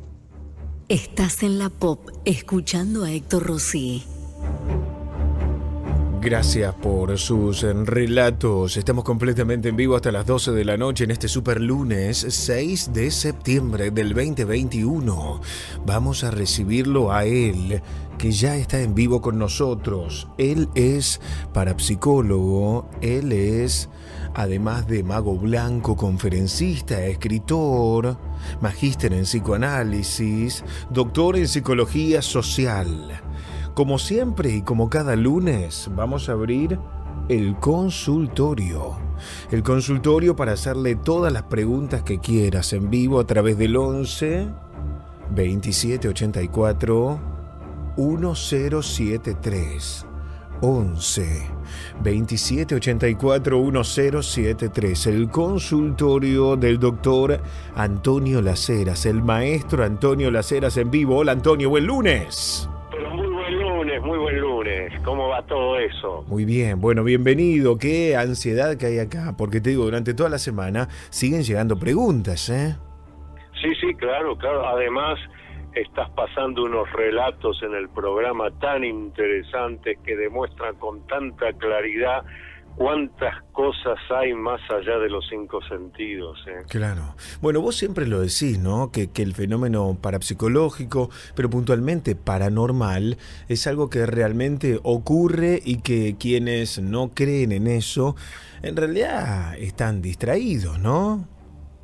Sí, sobre todo porque usaste el término que suelen, que suelen utilizar. Si yo creo, yo no creo. Y siempre digo lo mismo. Esta no es una cuestión de creencia. Creencia si crees en Dios, no crees en Dios, en una fuerza superior. Porque eh, ahí no podemos eh, demostrarlo eh, fácticamente. Pero cuando hablamos de lo paranormal, cuando hablamos de lo que el sabio suizo Carl Gustav Jung llamó las coincidencias significativas, ¿eh? Eh, cosas que vos decís, eh, bueno, será casualidad, pero frente a la palabra casualidad, uno de los grandes filósofos europeos, que fue Leibniz, Leibniz decía, casualidad es el rótulo que damos a aquellas cosas cuyas causas ignoramos. Uy, uy, uy, uy, uy. Bueno, llegó el momento de escucharlo a él, a Antonio Laceras, antes de meternos con la cantidad de consultas que tenemos por el WhatsApp, las preguntas que tenemos también que llegaron y que yo te voy a hacer en nombre de los oyentes. Quiero que me digas cómo hacen para conectarse directamente con vos, para seguirte en redes sociales, para navegar tu página web, Antonio. Con todo gusto. Bueno, para navegar mi página web es www.antoniolaceras.com antoniolaceras.com Ahí van a encontrar las investigaciones que hacemos, los libros que hemos publicado, los cursos que estamos dando a distancia. En Instagram figuro como Alaceras1, Alaceras con el número 1 al final, eso es Instagram, Alaceras1. Em, Twitter, arroba Laceras Antonio, Laceras Antonio y para los que necesiten alguna consulta personal conmigo, alguna cosa específica que necesiten que yo los atienda, eh, les doy mi WhatsApp. 11 49 49 28 50. 11 49 49 28 50. Es Antonio Laceras, es noche de lunes y estamos en vivo hasta la medianoche. Vamos a abrir entonces con un tema pendiente del lunes pasado que tiene que ver con el uso de velas. Vos sabés que muchos oyentes preguntan todo el tiempo sobre el uso de velas de colores para armonizar lugares o para sentirse mejor, ¿no? La pregunta que yo tengo que hacerte a vos en nombre de ellos es si verdaderamente sirve encender velas para protegerse de la mala onda y los hechizos de las brujerías. ¿Esto sirve? O es un ritual en vano? Mira, e- esta es una pregunta muy importante y a su vez muy delicada, porque los oyentes tienen que conocer que cada color tiene una vibración propia que emite el color. Luego, según con qué esté hecha la vela, porque no todas las velas son de cera, este o de cebo, eh, algunas tienen, yo voy a usar la palabra mezcolanza, porque ni siquiera es mezcla, mezcolanza. Todo eso emite una vibración que puede terminar perjudicando en vez de beneficiar. Yo lo único que les puedo garantizar es que si van a usar una vela, hagan lo que suelo incluso hacer yo.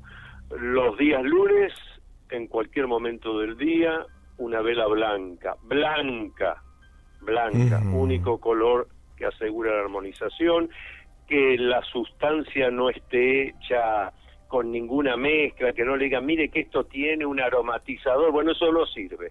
Una vela común y silvestre, blanca, que se enciende los días lunes en recuerdo de nuestros seres queridos que han desencarnado, para que quede claro que los estamos recordando y que siempre contamos con la protección de ellos, y además, por eso en día lunes, para agradecer la semana que se inicie, que estamos todavía en este plano. Cualquier otra vela, si no es recomendada específicamente por alguien que sea eh, conocedor de las técnicas de la alta magia blanca, que conozca para en qué lugar se va a poner, quiénes viven ahí, cuál es la energía que necesitan. Si no hay todo ese contexto, no usar velas de colores y mucho menos con aromatizadores, etcétera, porque todo eso emite una energía que no siempre es armonizadora. Más de una vez, por eso después vienen los eh, las desgracias, digo yo. Uy, si yo hubiera sabido. Bueno, infórmese primero, como han hecho acá los oyentes con esta pregunta que realmente es muy importante. Preguntas en el 11 27 84 1073. 11 27 84 1073. Hola Héctor, soy Cristian de Moreno. Quería hacerte una consulta para el doctor. ¿Sabés qué quería consultarle? Hace como tres meses yo tenía cuatro perros. Dos perras, un perro, dos perras grandes, un perro caniche y un cachorro y se me vienen muriendo de a poco, ¿viste? Es como que se chupan y se mueren. Y en mi casa sabe que hay un clima medio tenso, ¿viste? De pelea con, con mi familia, con mi mujer, ¿viste? Me habían dicho, ¿viste? Que eso pasa cuando hay alguna maldad o algo en la casa y bueno, lo, lo, chupan los animales, ¿viste? Quería saber a ver si, si era algo de eso o bueno, si era verdad o no lo que me dijeron, ¿viste? Y quería saber a ver si él, si había algo de eso, si podía poner algo en mi casa, o había algo que se podía hacer para que se corte toda esa maldad. Bueno, esta pregunta que al que este amigo le puso testimonio, yo la escucho todo el tiempo acá, ¿eh? Y es absolutamente cierto porque los animales, igual que las plantas, son altamente sensibles a las fuerzas negativas y desarmonizantes. Y de alguna manera, a través de eso, nos alertan de si alguien nos está haciendo algún tipo de maleficio, de brujería, de magia negra. Ahora, este caso en particular es extremadamente delicado, extremadamente delicado, porque aquí ya habla de, en este caso, las mascotas, los perros, que se van chupando, se van secando y van muriendo.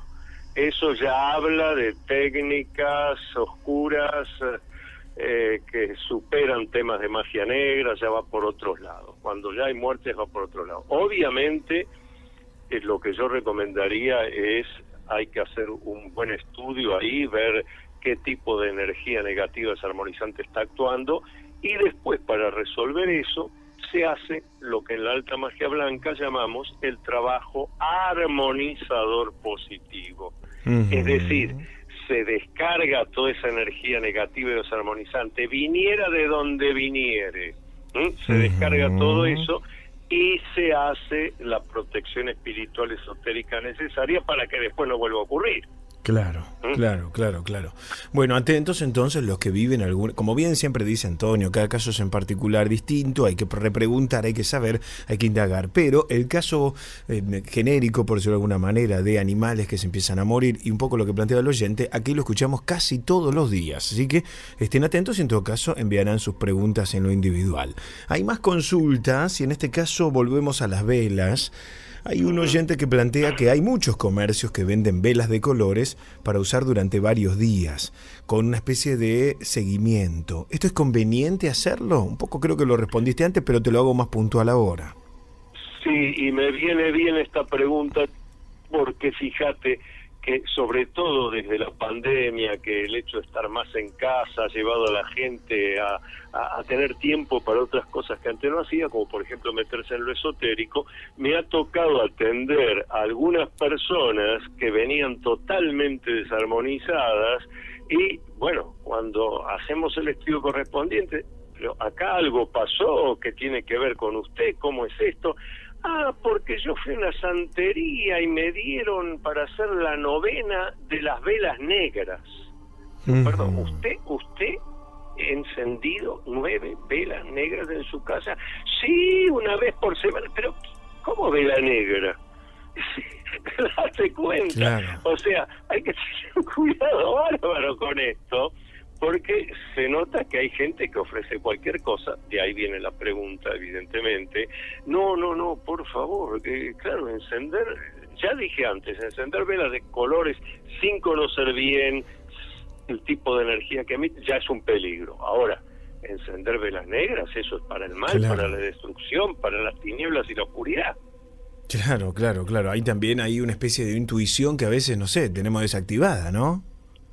Bueno, lo que pasa, como me decía esta gente que le pasó esto, y bueno, justamente tuvo que hacer el trabajo armonizador positivo, uh esto que decimos, pero me decían, yo tuve confianza, imagínese, de esto no sé nada, voy a una santería, digo, ya, ya de por sí una santería con vela negra me llama la atención, este, pero yo de esto no entiendo nada, confié en el vendedor. Y yo sospecho que el vendedor tampoco sabía claro. de lo que estaba hablando y, vendió lo que le pareció a él, nada más. Es Antonio Laceras en vivo. Pregunten, adelante. Hola, buenas tardes. Me llamo Pablo. Yo quería preguntar al doctor, eh, ya varias veces me pasó trabajo de seguridad, varias veces me pasó trabajo de noche. Eh, escucho mi, como que, me llaman por mi apellido, no hay nadie alrededor, no hay nadie acá, no hay nadie, veo por todos lados y no hay nadie. Y que me golpean 103 eh, golpes en la puerta de entrada del edificio donde trabajo de seguridad. Quería saber qué, significa eso. Gracias, muy la radio. Ojalá pasen el, audio hoy. Así lo escucho. Gracias. Mandanos tu historia por WhatsApp. 11 27 84 10 73. Bueno, Antonio. Es uno de los fenómenos em, más conocidos en parapsicología desde, te diré, fines del siglo XIX, 1880 y tantos, en que comenzaron a hacerse las primeras investigaciones metodológicas, científicas de temas que entonces se llamaban metapsíquicos, después en, este, en el pasado siglo XX se llamaba parapsicología. Eh, los golpes, el nombre que le dieron a aquellos metapsíquicos era RAPS, eh, golpes que parecen estar eh, acá dice la puerta, pero podría ser sobre una pared, lo que fuera, y no hay quien los haga. Eh, eso es un fenómeno parapsicológico, se llama psiquinético. Y el oír voces, pero atención, porque durante mucha, mucho tiempo esto de oír voces se decía son alucinaciones. El problema fue, y nuestro oyente lo, lo puede hacer este experimento, él cuando aproximadamente conocen qué horario van a producirse los golpes y van a manifestarse las voces, deje correr un grabador y va a ver que quedan grabados los sonidos de los golpes y de las voces. No es alucinación.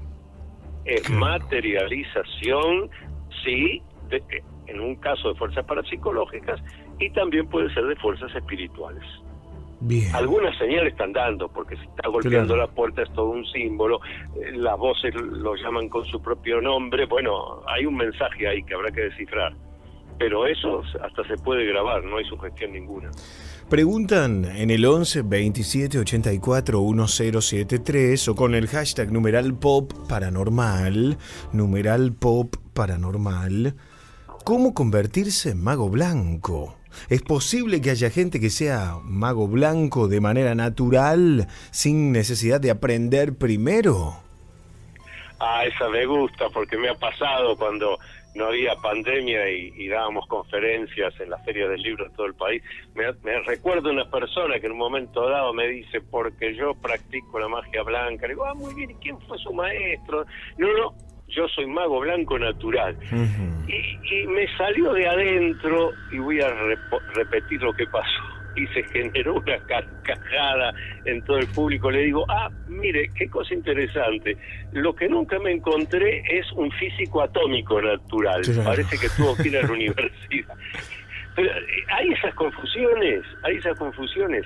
Obviamente, obviamente que cuando hablamos de, de, cualquier formación esotérica, eh, tenés que haber tenido uno o más guías, maestros a lo largo de tu vida para ir mejorando. Lo que sí estoy de acuerdo es que hay personas que tienen ese don más esencial naturalmente desarrollado, pero esto es, yo tengo, entre otras cosas, el don de poder escribir, eso desde, desde la escuela primaria.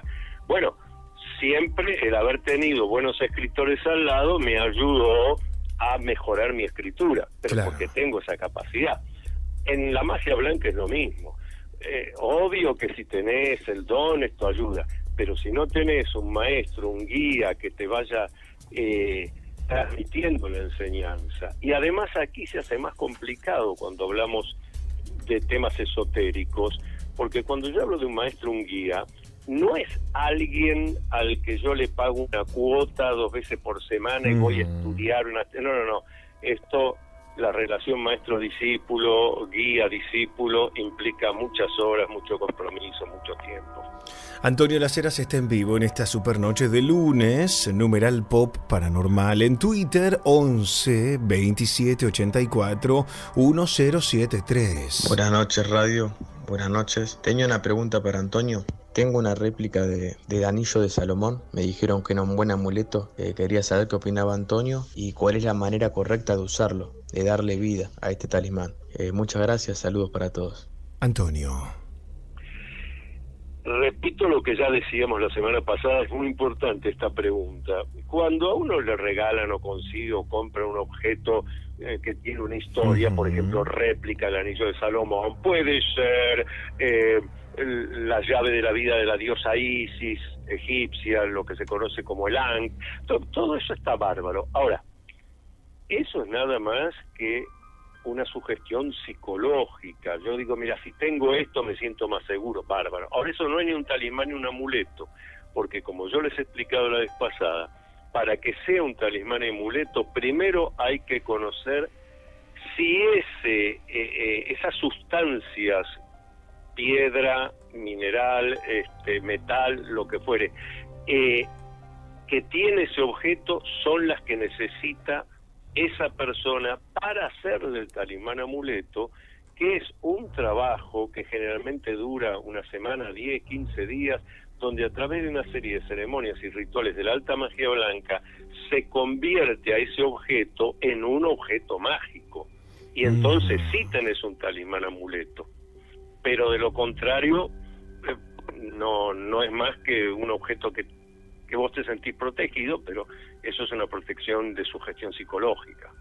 Antonio Laceras responde en vivo 11 27 84 1073. Héctor, con respecto a las entidades, quería preguntarle ahí a Antonio si por qué yo veo solamente nubes eh, estando en un hospital, en el sector de, de terapia intensiva, y cómo se acercaba una nube blanca sobre mi hombro, queriendo mirar qué es lo que estaba haciendo yo en el teléfono. Eh, y en otro lugar, en un lugar donde, donde sé que hacían macumba, eh, una nube negra que pasaba por una puerta de un lado al otro, solamente una forma de nube. Bueno, Antonio.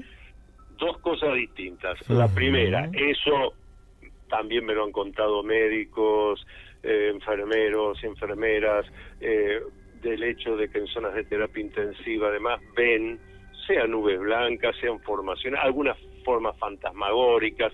Bueno, eso tiene que ver justamente con aspectos parapsicológicos y espirituales de las personas que están allí, los pacientes, o bien de las personas que ya no están en este plano, pero que estuvieron allí.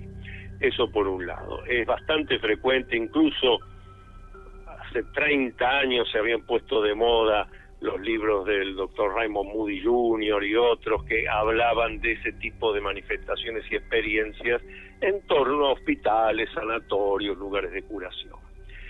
Lo cual además habla, lo que siempre insisto, de que los humanos somos bastante más que reacciones físico-químicas. Hay aspectos espirituales, hay un alma inmortal y todo eso eh, hace a nuestra existencia. Lo otro ya lo explica bien en esos 20 últimos segundos. Habla de que en una sesión de Macumba ha visto una nube negra. Bueno. Claro. Hay que tener cuidado con las fuerzas que se mueven en ciertos rituales, no sea que terminen siendo fuerzas dañinas. Bueno, es un tema delicado, ¿no? Como decimos siempre, el WhatsApp sigue abierto 11 27 84 1073. Hola maestro, ¿cómo le va? Buenas noches. Juan Ledesma te habla de acá de Brazatí y Ranela. Yo tengo un problema parecido al que contó recién, un, no sé si lo contó, pero el tema de que ve la parca, pero yo lo veo de otra forma. Yo no veo a nadie, simplemente siento el clima raro y lamentablemente estando las personas en vida, este, me ha pasado con, el tema de mi madre, con, cuando estoy con mi tía. Yo hablo con ellos y le digo, usted sabe que yo veo algo malo en esa persona. Esa persona se me hace con que el momento va a partir. Y es algo increíble que estoy cansado de ver las cosas por adelanto. Y esas personas terminan partiendo. Si no, cuando hay una muerte cerca o, diferentes tipos de problemas, cosas que están por venir, eh, yo siento el clima raro, yo lo, lo presiento en el ambiente, en el aire, en el patio, en las calles. Es como que cuando yo pasan cosas así, digo, siento el ambiente raro, algo va a pasar. Yo estoy cansado de, también de saber mentalmente lo que piensa el otro. ¿Por qué me pasa todo esto? ¿Por qué nací así? Bueno, Antonio. Porque tiene desarrollada la capacidad parapsicológica de los fenómenos extrasensoriales, eh, evidencia y telepatía entonces está captando el estado anímico de otra persona, el estado de salud de otra persona, está captando de que hay posibilidades de que esté muy enfermo, que pueda desencarnar, o en otros casos directamente por telepatía está captando lo que la persona piensa. Eh, lo tiene desarrollado. Yo lo que le aconsejaría es que estudie parapsicología. Lo que le falta es la teoría. Conociendo la teoría parapsicológica, todo esto que ahora le preocupa o lo asusta, lo, va a poder usar como algo beneficioso para sí y para los demás. Noche de lunes con Antonio Laceras en vivo, numeral pop paranormal en Twitter y en el 11 27 84 1073. Mi consulta sería para el doctor. con mi hermano recordábamos el pasado y recordábamos a personas del pasado y particularmente a una que siempre dijo que nunca pudo soltar a su padre, que había muerto, ¿no? Eh, bueno, después que pasó esto, hablábamos todo, qué sé yo. Ah, no, a la, no a la noche, sino a la madrugada, a la mañana, sueño, sueño con esa persona, un pariente mío y una supuesta cuñada de un pariente mío. Que estando en familia me dice, ella quiere hablar con vos. ¿Quién? Le digo yo, mi cuñada, anda a saber qué quiere, qué sé yo. Cuando atiendo, me hablan como esa voz de ultratumba y no le entiendo nada lo que me dicen. Como que, como que era como una conexión de radio mal, algo así, como, como algo que venía del más allá y no sé, me, me quiso decir algo o me dijo algo o me advirtió de algo y eso fue todo el fin del sueño porque ahí me levanté mal. ¿Qué puede ser eso? Ella dijo que siempre, eh, el padre nunca se fue, que siempre la está cuidando. Y bueno, ese es el motivo porque él también no podía estar mucho con personas, porque todo se lo arruinaba esta, esta entidad. Héctor Rossi en la Pop 1015. Y Antonio Laceras también en la Pop, escuchando y respondiendo, Antonio. Sí, como siempre les digo, esto de interpretar sueños de esta manera es un, poco una interpretación un poco salvaje porque uno tiene que tener otros conocimientos de la persona, de su historia, etcétera. Ahora, rápidamente con este comentario que nos hace el oyente, yo lo que interpreto es que el sueño es lo más habitual de los sueños, una manifestación de deseo, la manifestación de deseo de que esa persona que desencarnó se comunique de alguna manera. Por eso dice muy bien, pero no sé, había como una mala conexión, no pude eh, escuchar cuál era el mensaje. Claro, porque el mensaje en realidad no estaba.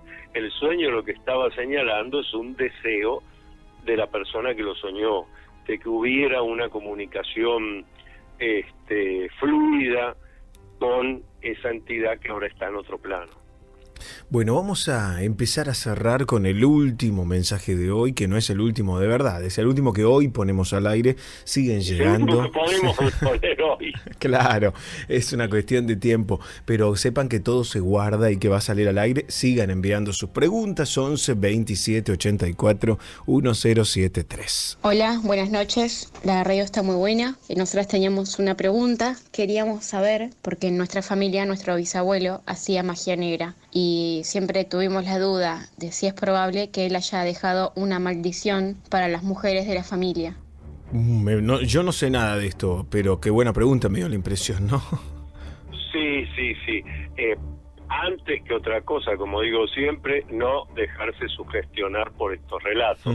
Hasta donde acabo de escuchar, la oyente no dice, eh, bueno, a raíz de esta suposición, pero lo que pasa es que las mujeres de la familia nos pasa esto, nos pasa lo otro, aquella perdió el bebé, la otra tuvo un accidente, la otra se suicidó. Pues, si no, si no están viendo eh, nada fuera de lo común, eh, nada anormal ni paranormal, que haya sido el abuelo practicante de magia negra, lo que no tiene ninguna importancia.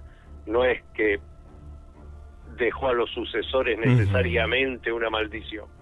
Entonces, en ese sentido, la prudencia necesaria. Ahora, si hubiera eh, datos que hacen pensar que eh, hay un maleficio, bueno, si la pregunta fuera, ¿es posible que alguien que ya desencarnó de la familia nos haya hecho un maleficio y que dos generaciones después esto siga manifestándose? Sí, por supuesto.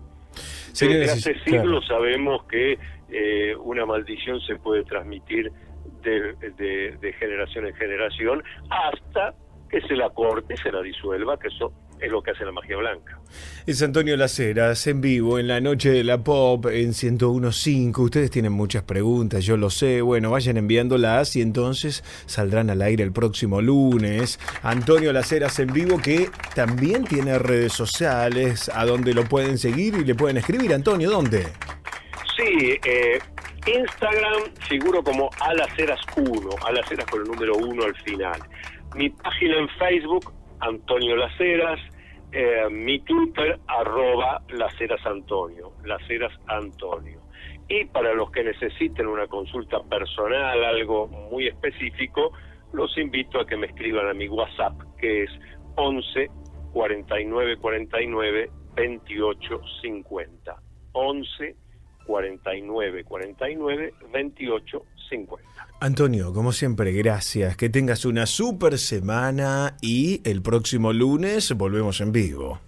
Claro que sí. Plena, provechosa semana para todos ahora que nos vamos acercando despacio al equinoccio de primavera. Luminoso abrazo. Luminoso abrazo para vos también. Antonio Laceras en vivo en la Noche Pop, especial paranormal. La noche es el momento ideal para historias como estas. La noche paranormal. Estás en la pop escuchando a Héctor Rossi. Hola Héctor, buenas noches. Soy Miguel de Hurlingham y esto sucedió en el año 2008 cuando yo estaba en, en la fila de la, de la policía de la provincia de Buenos Aires. Ahora actualmente estoy retirado un día sábado, no me, voy no me, quiero olvidar. Este, estábamos cuidando una, unas maquinarias donde un lugar del Palomar llamado la Villa Carlos Gardel estaban eh, sacando la villa y bueno, ya había unas edificaciones para, para entregar a la gente que vivía en la villa. Y bueno, y estábamos, después que se iban los obreros, quedábamos mi compañero y yo solamente cuidando el lugar. Y una noche, desde muy temprano, desde la tarde, empezó en los pisos de arriba, donde había unas maquinarias, estaba todo cerrado y en el piso de abajo eh, eh, nos quedábamos nosotros. Sentíamos una pelota, una, pelota que empezaba, que rebotaba en el piso, rebotaba y rebotaba. Subíamos a ver, pero estaba todo cerrado con llave y no había explicación de eso. Y la pelota rebotó toda la noche en el piso y se sentía hasta abajo, donde estábamos nosotros, no había explicación. Bueno, pasó toda la noche así.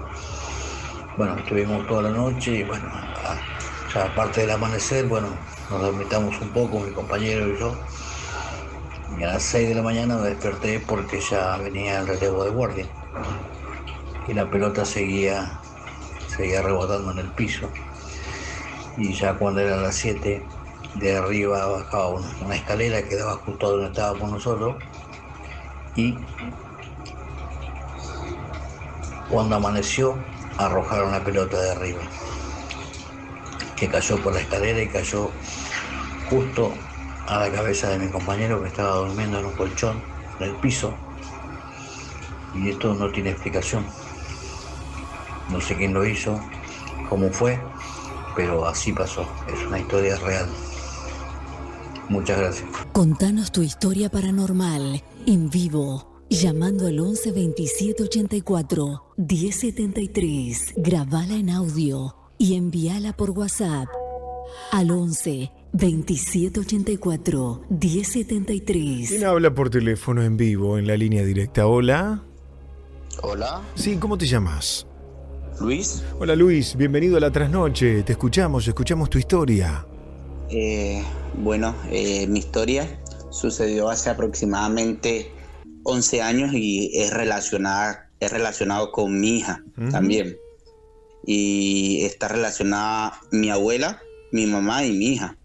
Eh, yo conocí a la, a la mamá de mi hija y a los dos meses de tener una relación ella estaba, quedó embarazada de mi hija, tiene ahora mismo 10 años. Y antes de, saber que estaba embarazada, mi, abuela falleció un mes antes de, de saber que la niña existía o que mi pareja estaba embarazada. Y la sorpresa me la llevé porque yo quise darle la sorpresa a mi mamá dejándole la prueba de embarazo positiva y le dije, mamá, ahí te dejo un regalo. Y cuando, cuando le dije eso, mi mamá empezó a llorar, y a llorar, y a llorar, y a llorar. Yo me asusté y le pregunté qué, le pasaba, que, que no sabía qué era la, la noticia. Y me dijo que ella ya sabía cuál era la, la noticia que le iba a dar. Y era que mi pareja estaba embarazada. Y yo le pregunté, pero tú cómo sabes, si eso no lo sabe nadie, eso lo sabe solamente mi, eh, lo sabe mi pareja y, yo. Me dijo, no, tu abuela hace un mes antes de morir me dijo que, que tu pareja estaba embarazada y que ella no iba a poder conocer a a la niña. Y ella me dijo, sí, pero ¿y cómo sabes tú que es niña? Me dijo, sí, es niña. El día de mi cumpleaños, yo soy médico, eh, un amigo me regaló la ecografía y preciso fue niña. Y la verdad es que es algo que siempre me ha marcado y siempre que veo y recuerdo todas estas cosas paranormales, uno piensa que no, pero, pero mi abuela antes de fallecer ya sabía que mi hija existía y que era una, una niña y que ella no la iba a conocer. Gracias por estar con nosotros y por contar tu historia. Gracias, igual a ustedes, buen programa. Gracias, un abrazo. Historias de premoniciones, historias reales. Suban el volumen porque llegó el momento. Todos en vivo y en Twitter, ya estoy listo. Ya estoy lista para la historia central estreno numeral pop paranormal. Todos en vivo y en Twitter. Ya estoy listo. Te invito a escribir, dale ahora a Twitter. Ya estoy lista para la historia central estreno numeral pop paranormal. Ya estoy listo. Ya estoy lista para la historia central estreno numeral pop paranormal. Suban el volumen. Historia central estreno en el aire. Esta es la historia real de Adrogué Tenebrosa en primera persona. Me llamo Joaquín. Ahora vivo en Brasil. Vieron que siempre aparecen día a día anécdotas aterradoras que tienen como protagonistas a algunas casas alrededor del mundo, cada vez más oscuras. Yo les aseguro que la más oscura de todas nunca va a ser superada y pasó en Argentina. Haciendo una media hora en tren desde Constitución en el ramal Gleu, lo más tétrico que me pasó en la vida y la casa más tenebrosa que hubo, hay y habrá, está en Adrogué. Sabrán entender que no dé su ubicación exacta. Aún me quedan amigos allá y no quiero que se vean perjudicados. Al principio la zona fue de quintas y de a poco se hicieron casonas, siendo un destino turístico a principios del siglo XX. Las mansiones solían estar hechas a todo trapo por arquitectos financistas italianos e ingleses y una de esas casas, que sobrevivió hasta no hace mucho, es donde sucedió esta historia. Esta finca de estilo normando estaba ubicada a lo que en la época de su construcción eran las afueras de Adrogué y fue considerada por muchos años como el lugar más bello y aterrador de todo el mundo. Su primer propietario fue John Michael Whiteford en 1873, después de haber terminado su trabajo en el trazado del ferrocarril para la empresa británica que creó este ramal.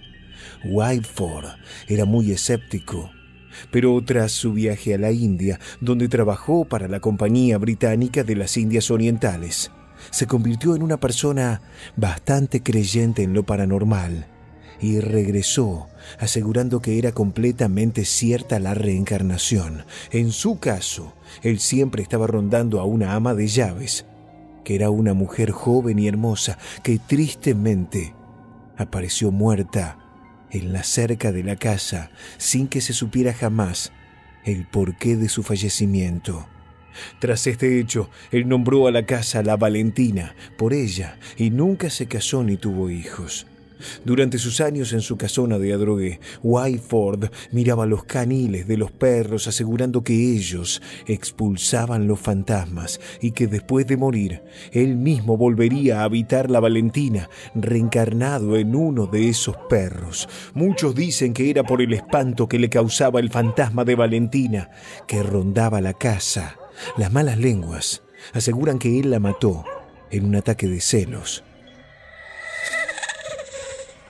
Finalmente la muerte le llegó en 1888 y el lugar quedó en manos de su sobrino, el borracho de Manuel Whiteford, quien se quedó aún temiendo que su tío cumpliera su promesa. Una noche de borrachera, se le ocurrió la idea de dispararles no solo a todos los perros que había en la casa, sino que también a cualquier perro que se acercara a ella. Este fue el hecho maldito que dio su nacimiento a la perdición de la casa, porque debido a esto, el espíritu furioso de John Whiteford tuvo que habitar la casa sin poder encarnar y por eso cualquiera que habitara allí ya no pudo vivir en ese lugar. Manuel Whiteford terminó alquilándola a la familia Gordon, otros ingleses que vinieron con el ferrocarril y que después de tres meses en los que experimentaron una agresiva actividad espectral, abandonaron la casa. La misma historia ocurrió con varias familias durante varias décadas, hasta que en 1973 la compró mi abuelo Miguel, Estaba muy interesado en las situaciones que allí se reportaban. Él era un hombre apasionado por los fenómenos paranormales, tanto que fundó una sociedad para la investigación psíquica y uno de sus más arduos trabajos los realizó justamente en esa casa. En la familia se decía que también era brujo y medium. Durante algunos meses, tanto mi abuelo como algunos de los más prestigiosos parapsicólogos de la época habitaron la Valentina y se registraron todos y cada uno de los acontecimientos paranormales que atestiguaron en una serie de documentos tan impresionantes y aterradores que ninguna editorial quiso editarlos. La Valentina permaneció siendo habitada y abandonada constantemente hasta que en 1982 su abandono fue total. Los fenómenos paranormales se siguieron reportando constantemente hasta que en 1993 un feroz incendio hizo que fuera prácticamente demolida del todo. Y aquí es donde comienza mi historia personal. El lote siguió perteneciendo a la familia y sobre todo lo poco que quedaba en pie allí. Entonces construí mi casa en 1994. Ganaba bien, tenía una buena posición en una de las principales instituciones bancarias de Argentina, por lo que podía darme un lindo lujo construyendo en aquel lugar una casa hermosa. La construcción fue problemática. Hubo varios obreros heridos, pero la verdad que ni me preocupé. Había seguro, y era más problema del arquitecto que mío. Yo la verdad no me interesaba a qué costo esto quedaba hecho siempre que fuera en un marco legal. No quería quedar pegado a nada. Era una basura de persona, lo sé. Hice que mientras se construía lo nuevo, se conservaran algunas pocas cosas que habían quedado en pie, entre ellas los caniles, la cerca delantera y unos pocos elementos de la fachada. Al principio las cosas eran bien leves. En esa época todavía estaba soltero. Conocí a mi esposa recién en 1999, así que al principio fue un despelote el que hacía en esa casona.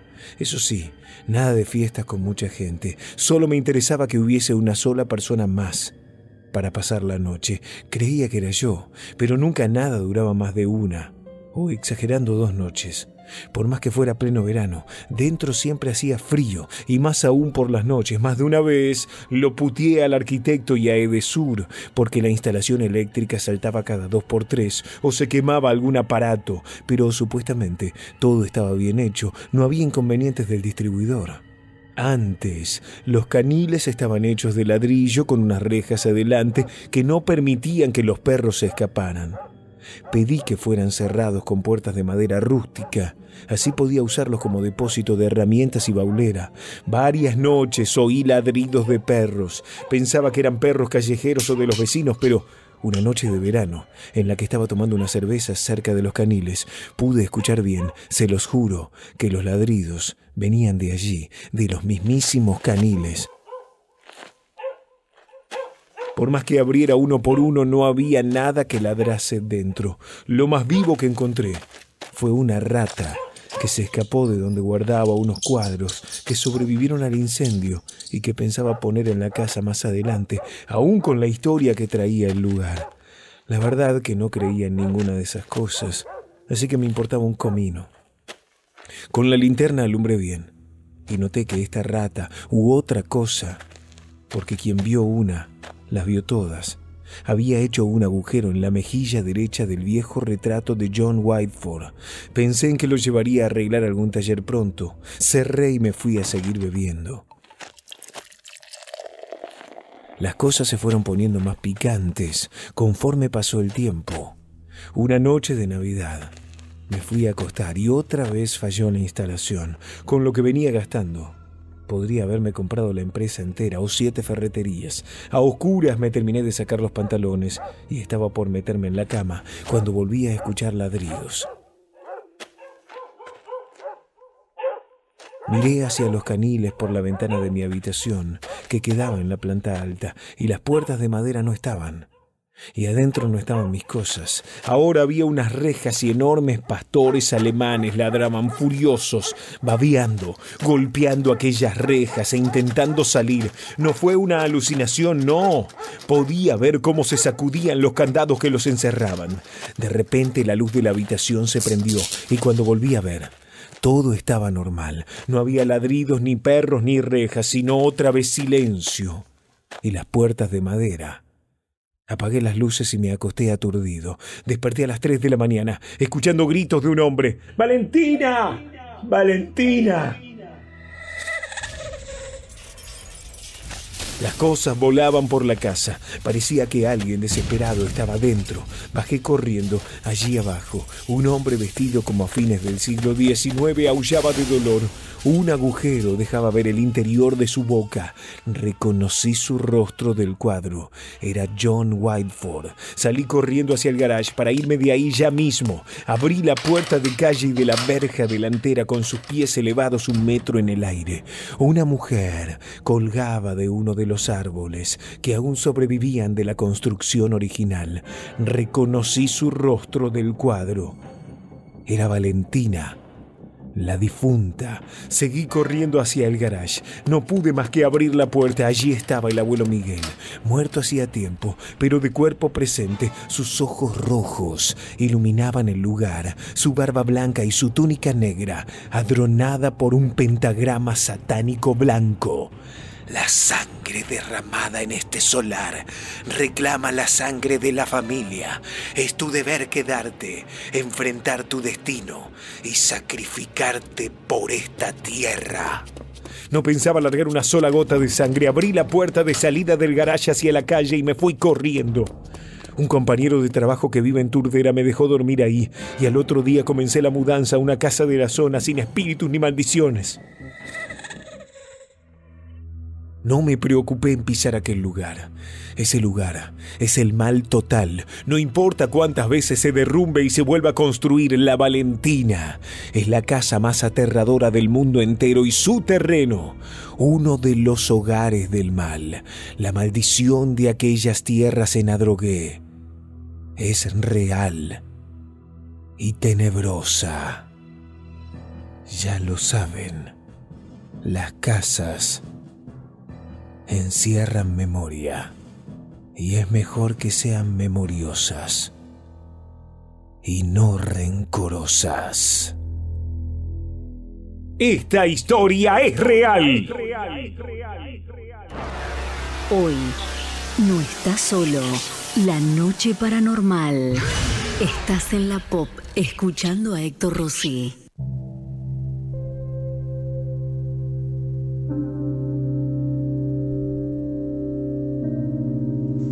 Este es un audio para actividad paranormal. Cuento mi historia. Soy Javier de Bursaco. Esto pasó en el año 2002. Entré a trabajar en una famosa fábrica de artículos de perfumería, muy grande en la zona de Dock Sud, en Villa Tranquila. Y bueno, trabajamos en turno noche y siempre se hablaba del famoso tercer piso que estaba clausurado la fábrica estaba en un proceso de desmantelamiento por mudanza a Tortuguitas, entonces ya trabajamos poca gente. Y siempre hablaban del famoso caso del operario de casco blanco que murió en el Montacara, que se, accionó accidentalmente y, lo agarró entre la pared y el montacarga y le cortó la cabeza. El espíritu de esa persona, eh, bueno, se pasó asustando a todo el mundo en esa enorme fábrica que es inmensa, al costado del riachuelo sobre calle Esteves.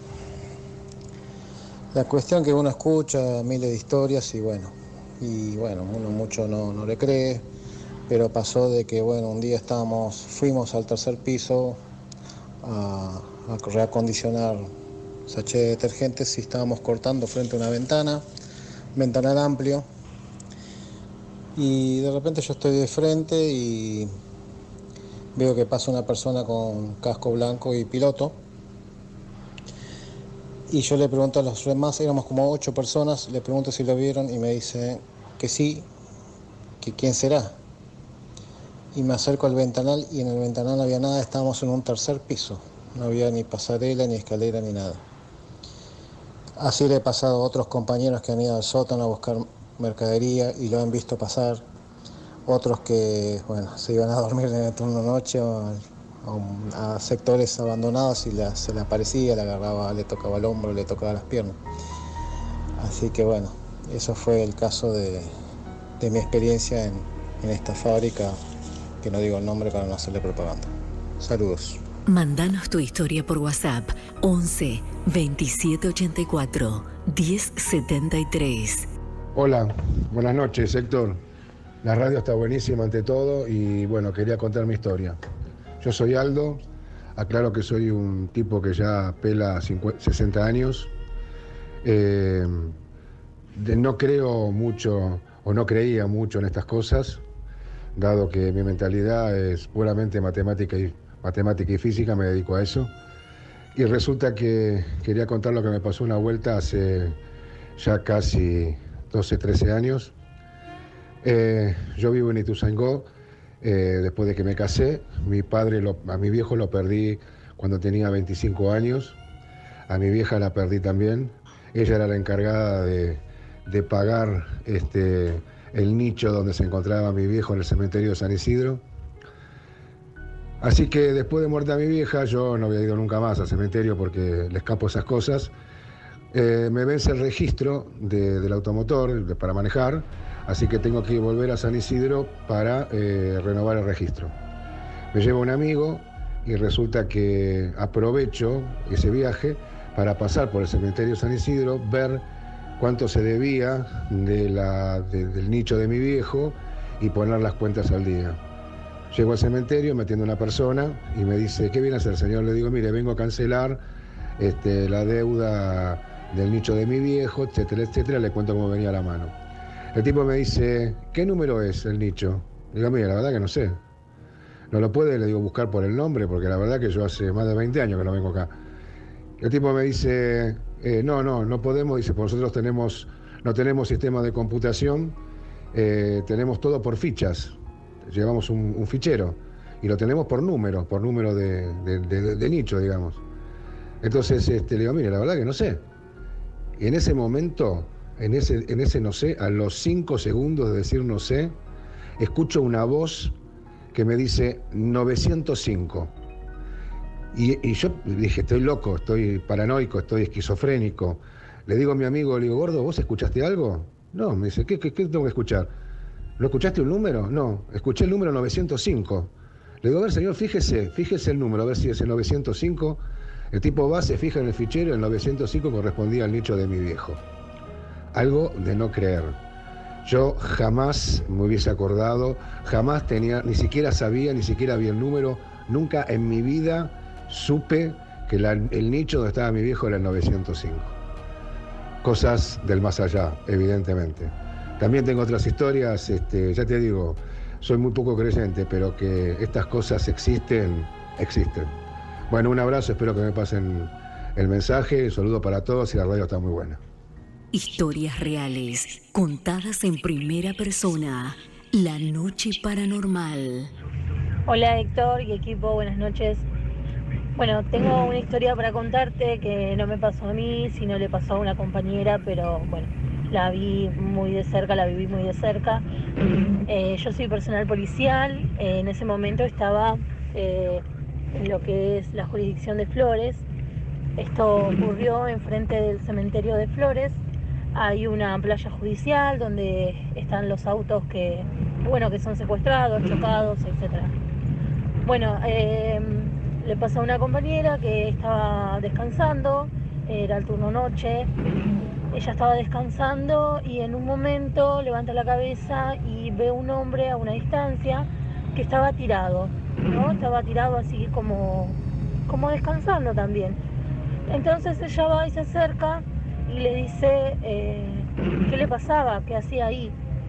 Eh, el hombre tenía un aspecto como de borracho, ¿no? Como que andaba por la calle y se había peleado. De hecho tenía eh, un poco de sangre en lo que es la cara.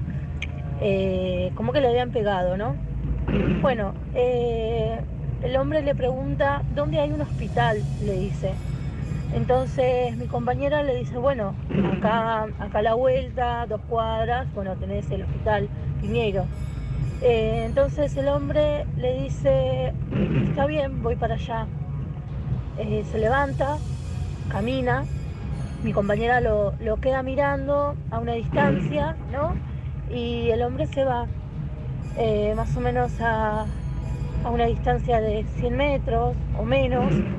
El hombre se sienta, eh, se sienta y, y como que eh, agarra las rodillas, ¿no? Como sus rodillas, así como que se hace chiquito y se agacha cada vez más hasta que desaparece. Eh, mi compañera lo vio con sus propios ojos y bueno, creer o reventar. 100% real. Un saludo, siempre los escucho.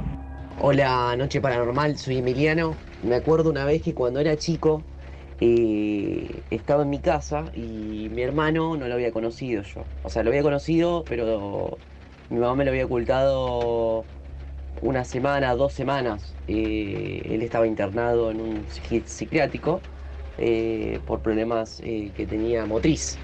Y yo siempre en mi casa, cuando estaba cuando estaba en la pieza veía sombras o veía la cara de mi hermano que me aparecía en la puerta y se iba. Y eso me pasó muchas veces. Y después también a la noche cuando me quedaba en el comedor o en la cocina mirando la tele hasta tarde jugando a los jueguitos, el picaporte de la manija de mi casa se empezaba a mover y se volvía loco. Son cosas que, bueno, me pasaron cuando era chico. Muchas gracias, está muy buena la radio.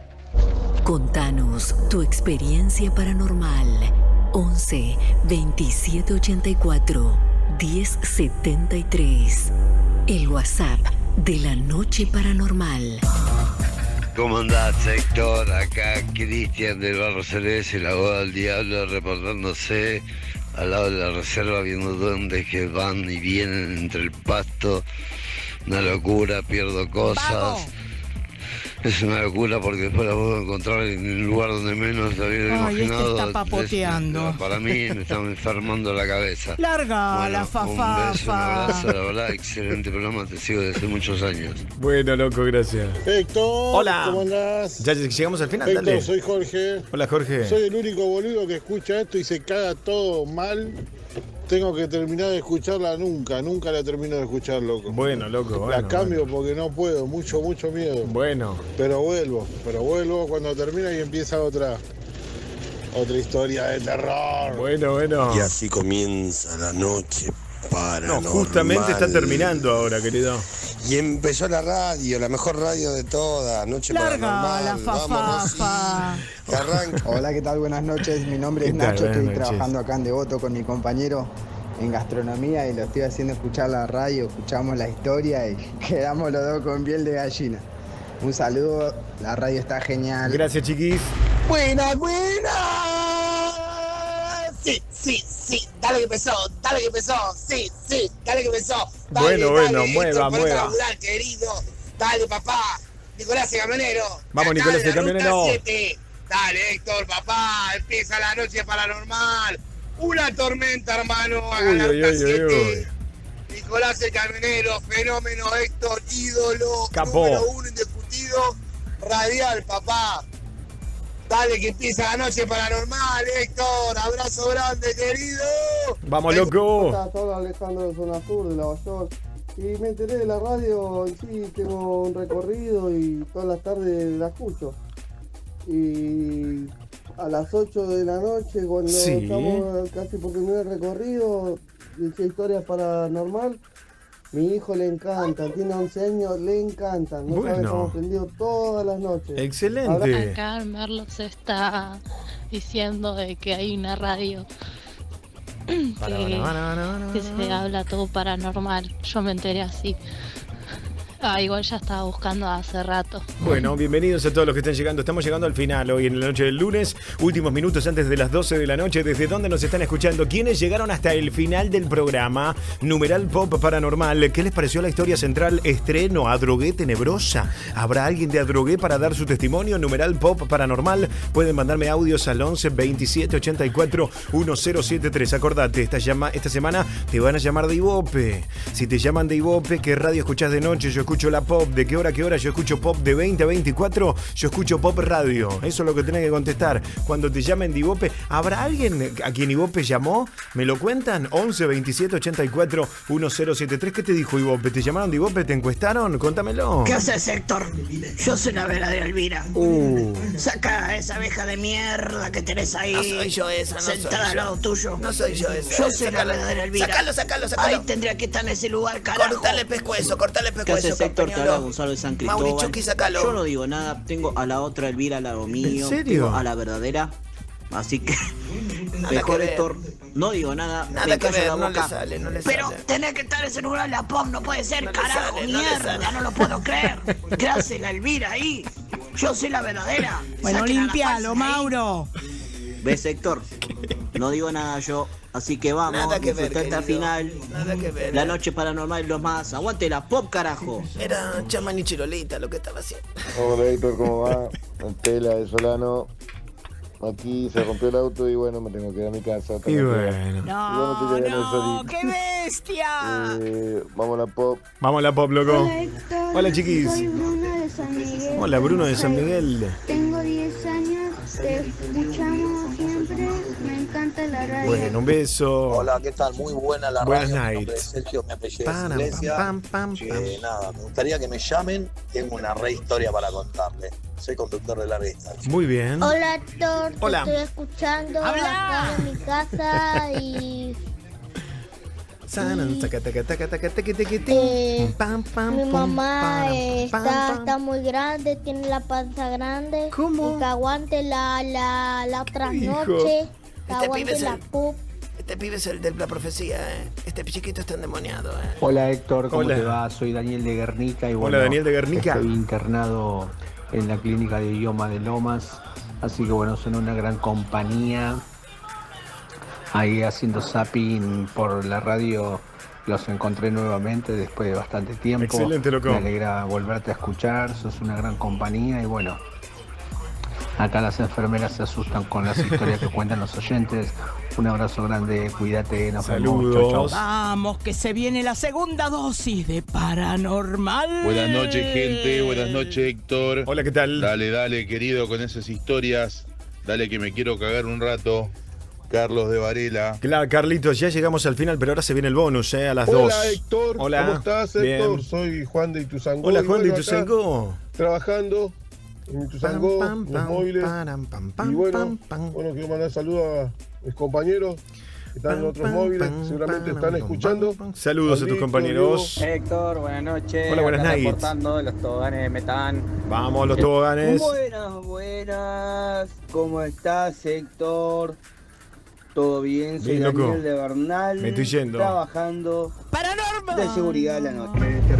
Buenas noches, Héctor. Hola, chiquis. Matías de Moreno. Hola, Matías de Moreno. como siempre en camino al laburo con mi señora. Muy bien. Hola, Héctor. Hola. Héctor. Sí. Estoy escuchando acá en el Bondi, la 111, chofer de la 111. Saludos, choferes. Buenas noches. Hola, Acá buenas más, eh, esperando que me llamen para contar mi historia. Ah, bueno, te llamamos Mientras mañana. tanto, les hago el aguante desde los jams. Besos, Deja Long a tu mujer, Héctor. Soy la mujer perfecta. No me duele la cabeza. No me viene el periodo. Y los domingos jugamos un partidito con los guachos. Héctor, Hola. ¿acaso te olvidaste del acechador oscuro? ¡Dale, boludo! Dale, apúrate con las historias, no te hagas el boludo. Hola, Héctor, soy Luchito. Hola, de Pechito, de Virrey del Pino. Me voy a ir a Santiago que te iba a extrañar. Por lo menos si hay una emisora allá que la, una repetidora, lo escucharía con gusto. Nos vemos, saludos. Chao, loco, llegamos al final. Hola. Buenísimo el programa, me encantó esa historia final del abogado atrevido. Sí. Eh, la verdad que ojalá hubiera más fantasmas que hagan estas venganzas. Hola Héctor, ¿cómo le va? Recién es saliendo a laburar, te están escuchando acá de Moreno. Saludos, Hola chicos. Héctor, me Hola. quedo todos los días hasta el final, pero nunca me pasás un mensaje. Ahí te lo pasamos. No sé. Muy bueno el programa, te escucho, Gracias, te miré loco. en la tele. Ey, qué bueno, loco. Daniel. Gracias, loco. Te limpio el baño, te hago de todo. Bueno, me voy a la tele, me voy a Canal 26. Che, gracias por todo. Volvemos mañana a las 8 de la noche. Si te llaman de Ibope, yo escucho La Noche Pop. Yo escucho Pop Radio a la noche. De 20 a 24 lo escucho a Héctor Rossi. Escucho La Noche Paranormal, acordate eso, ¿eh?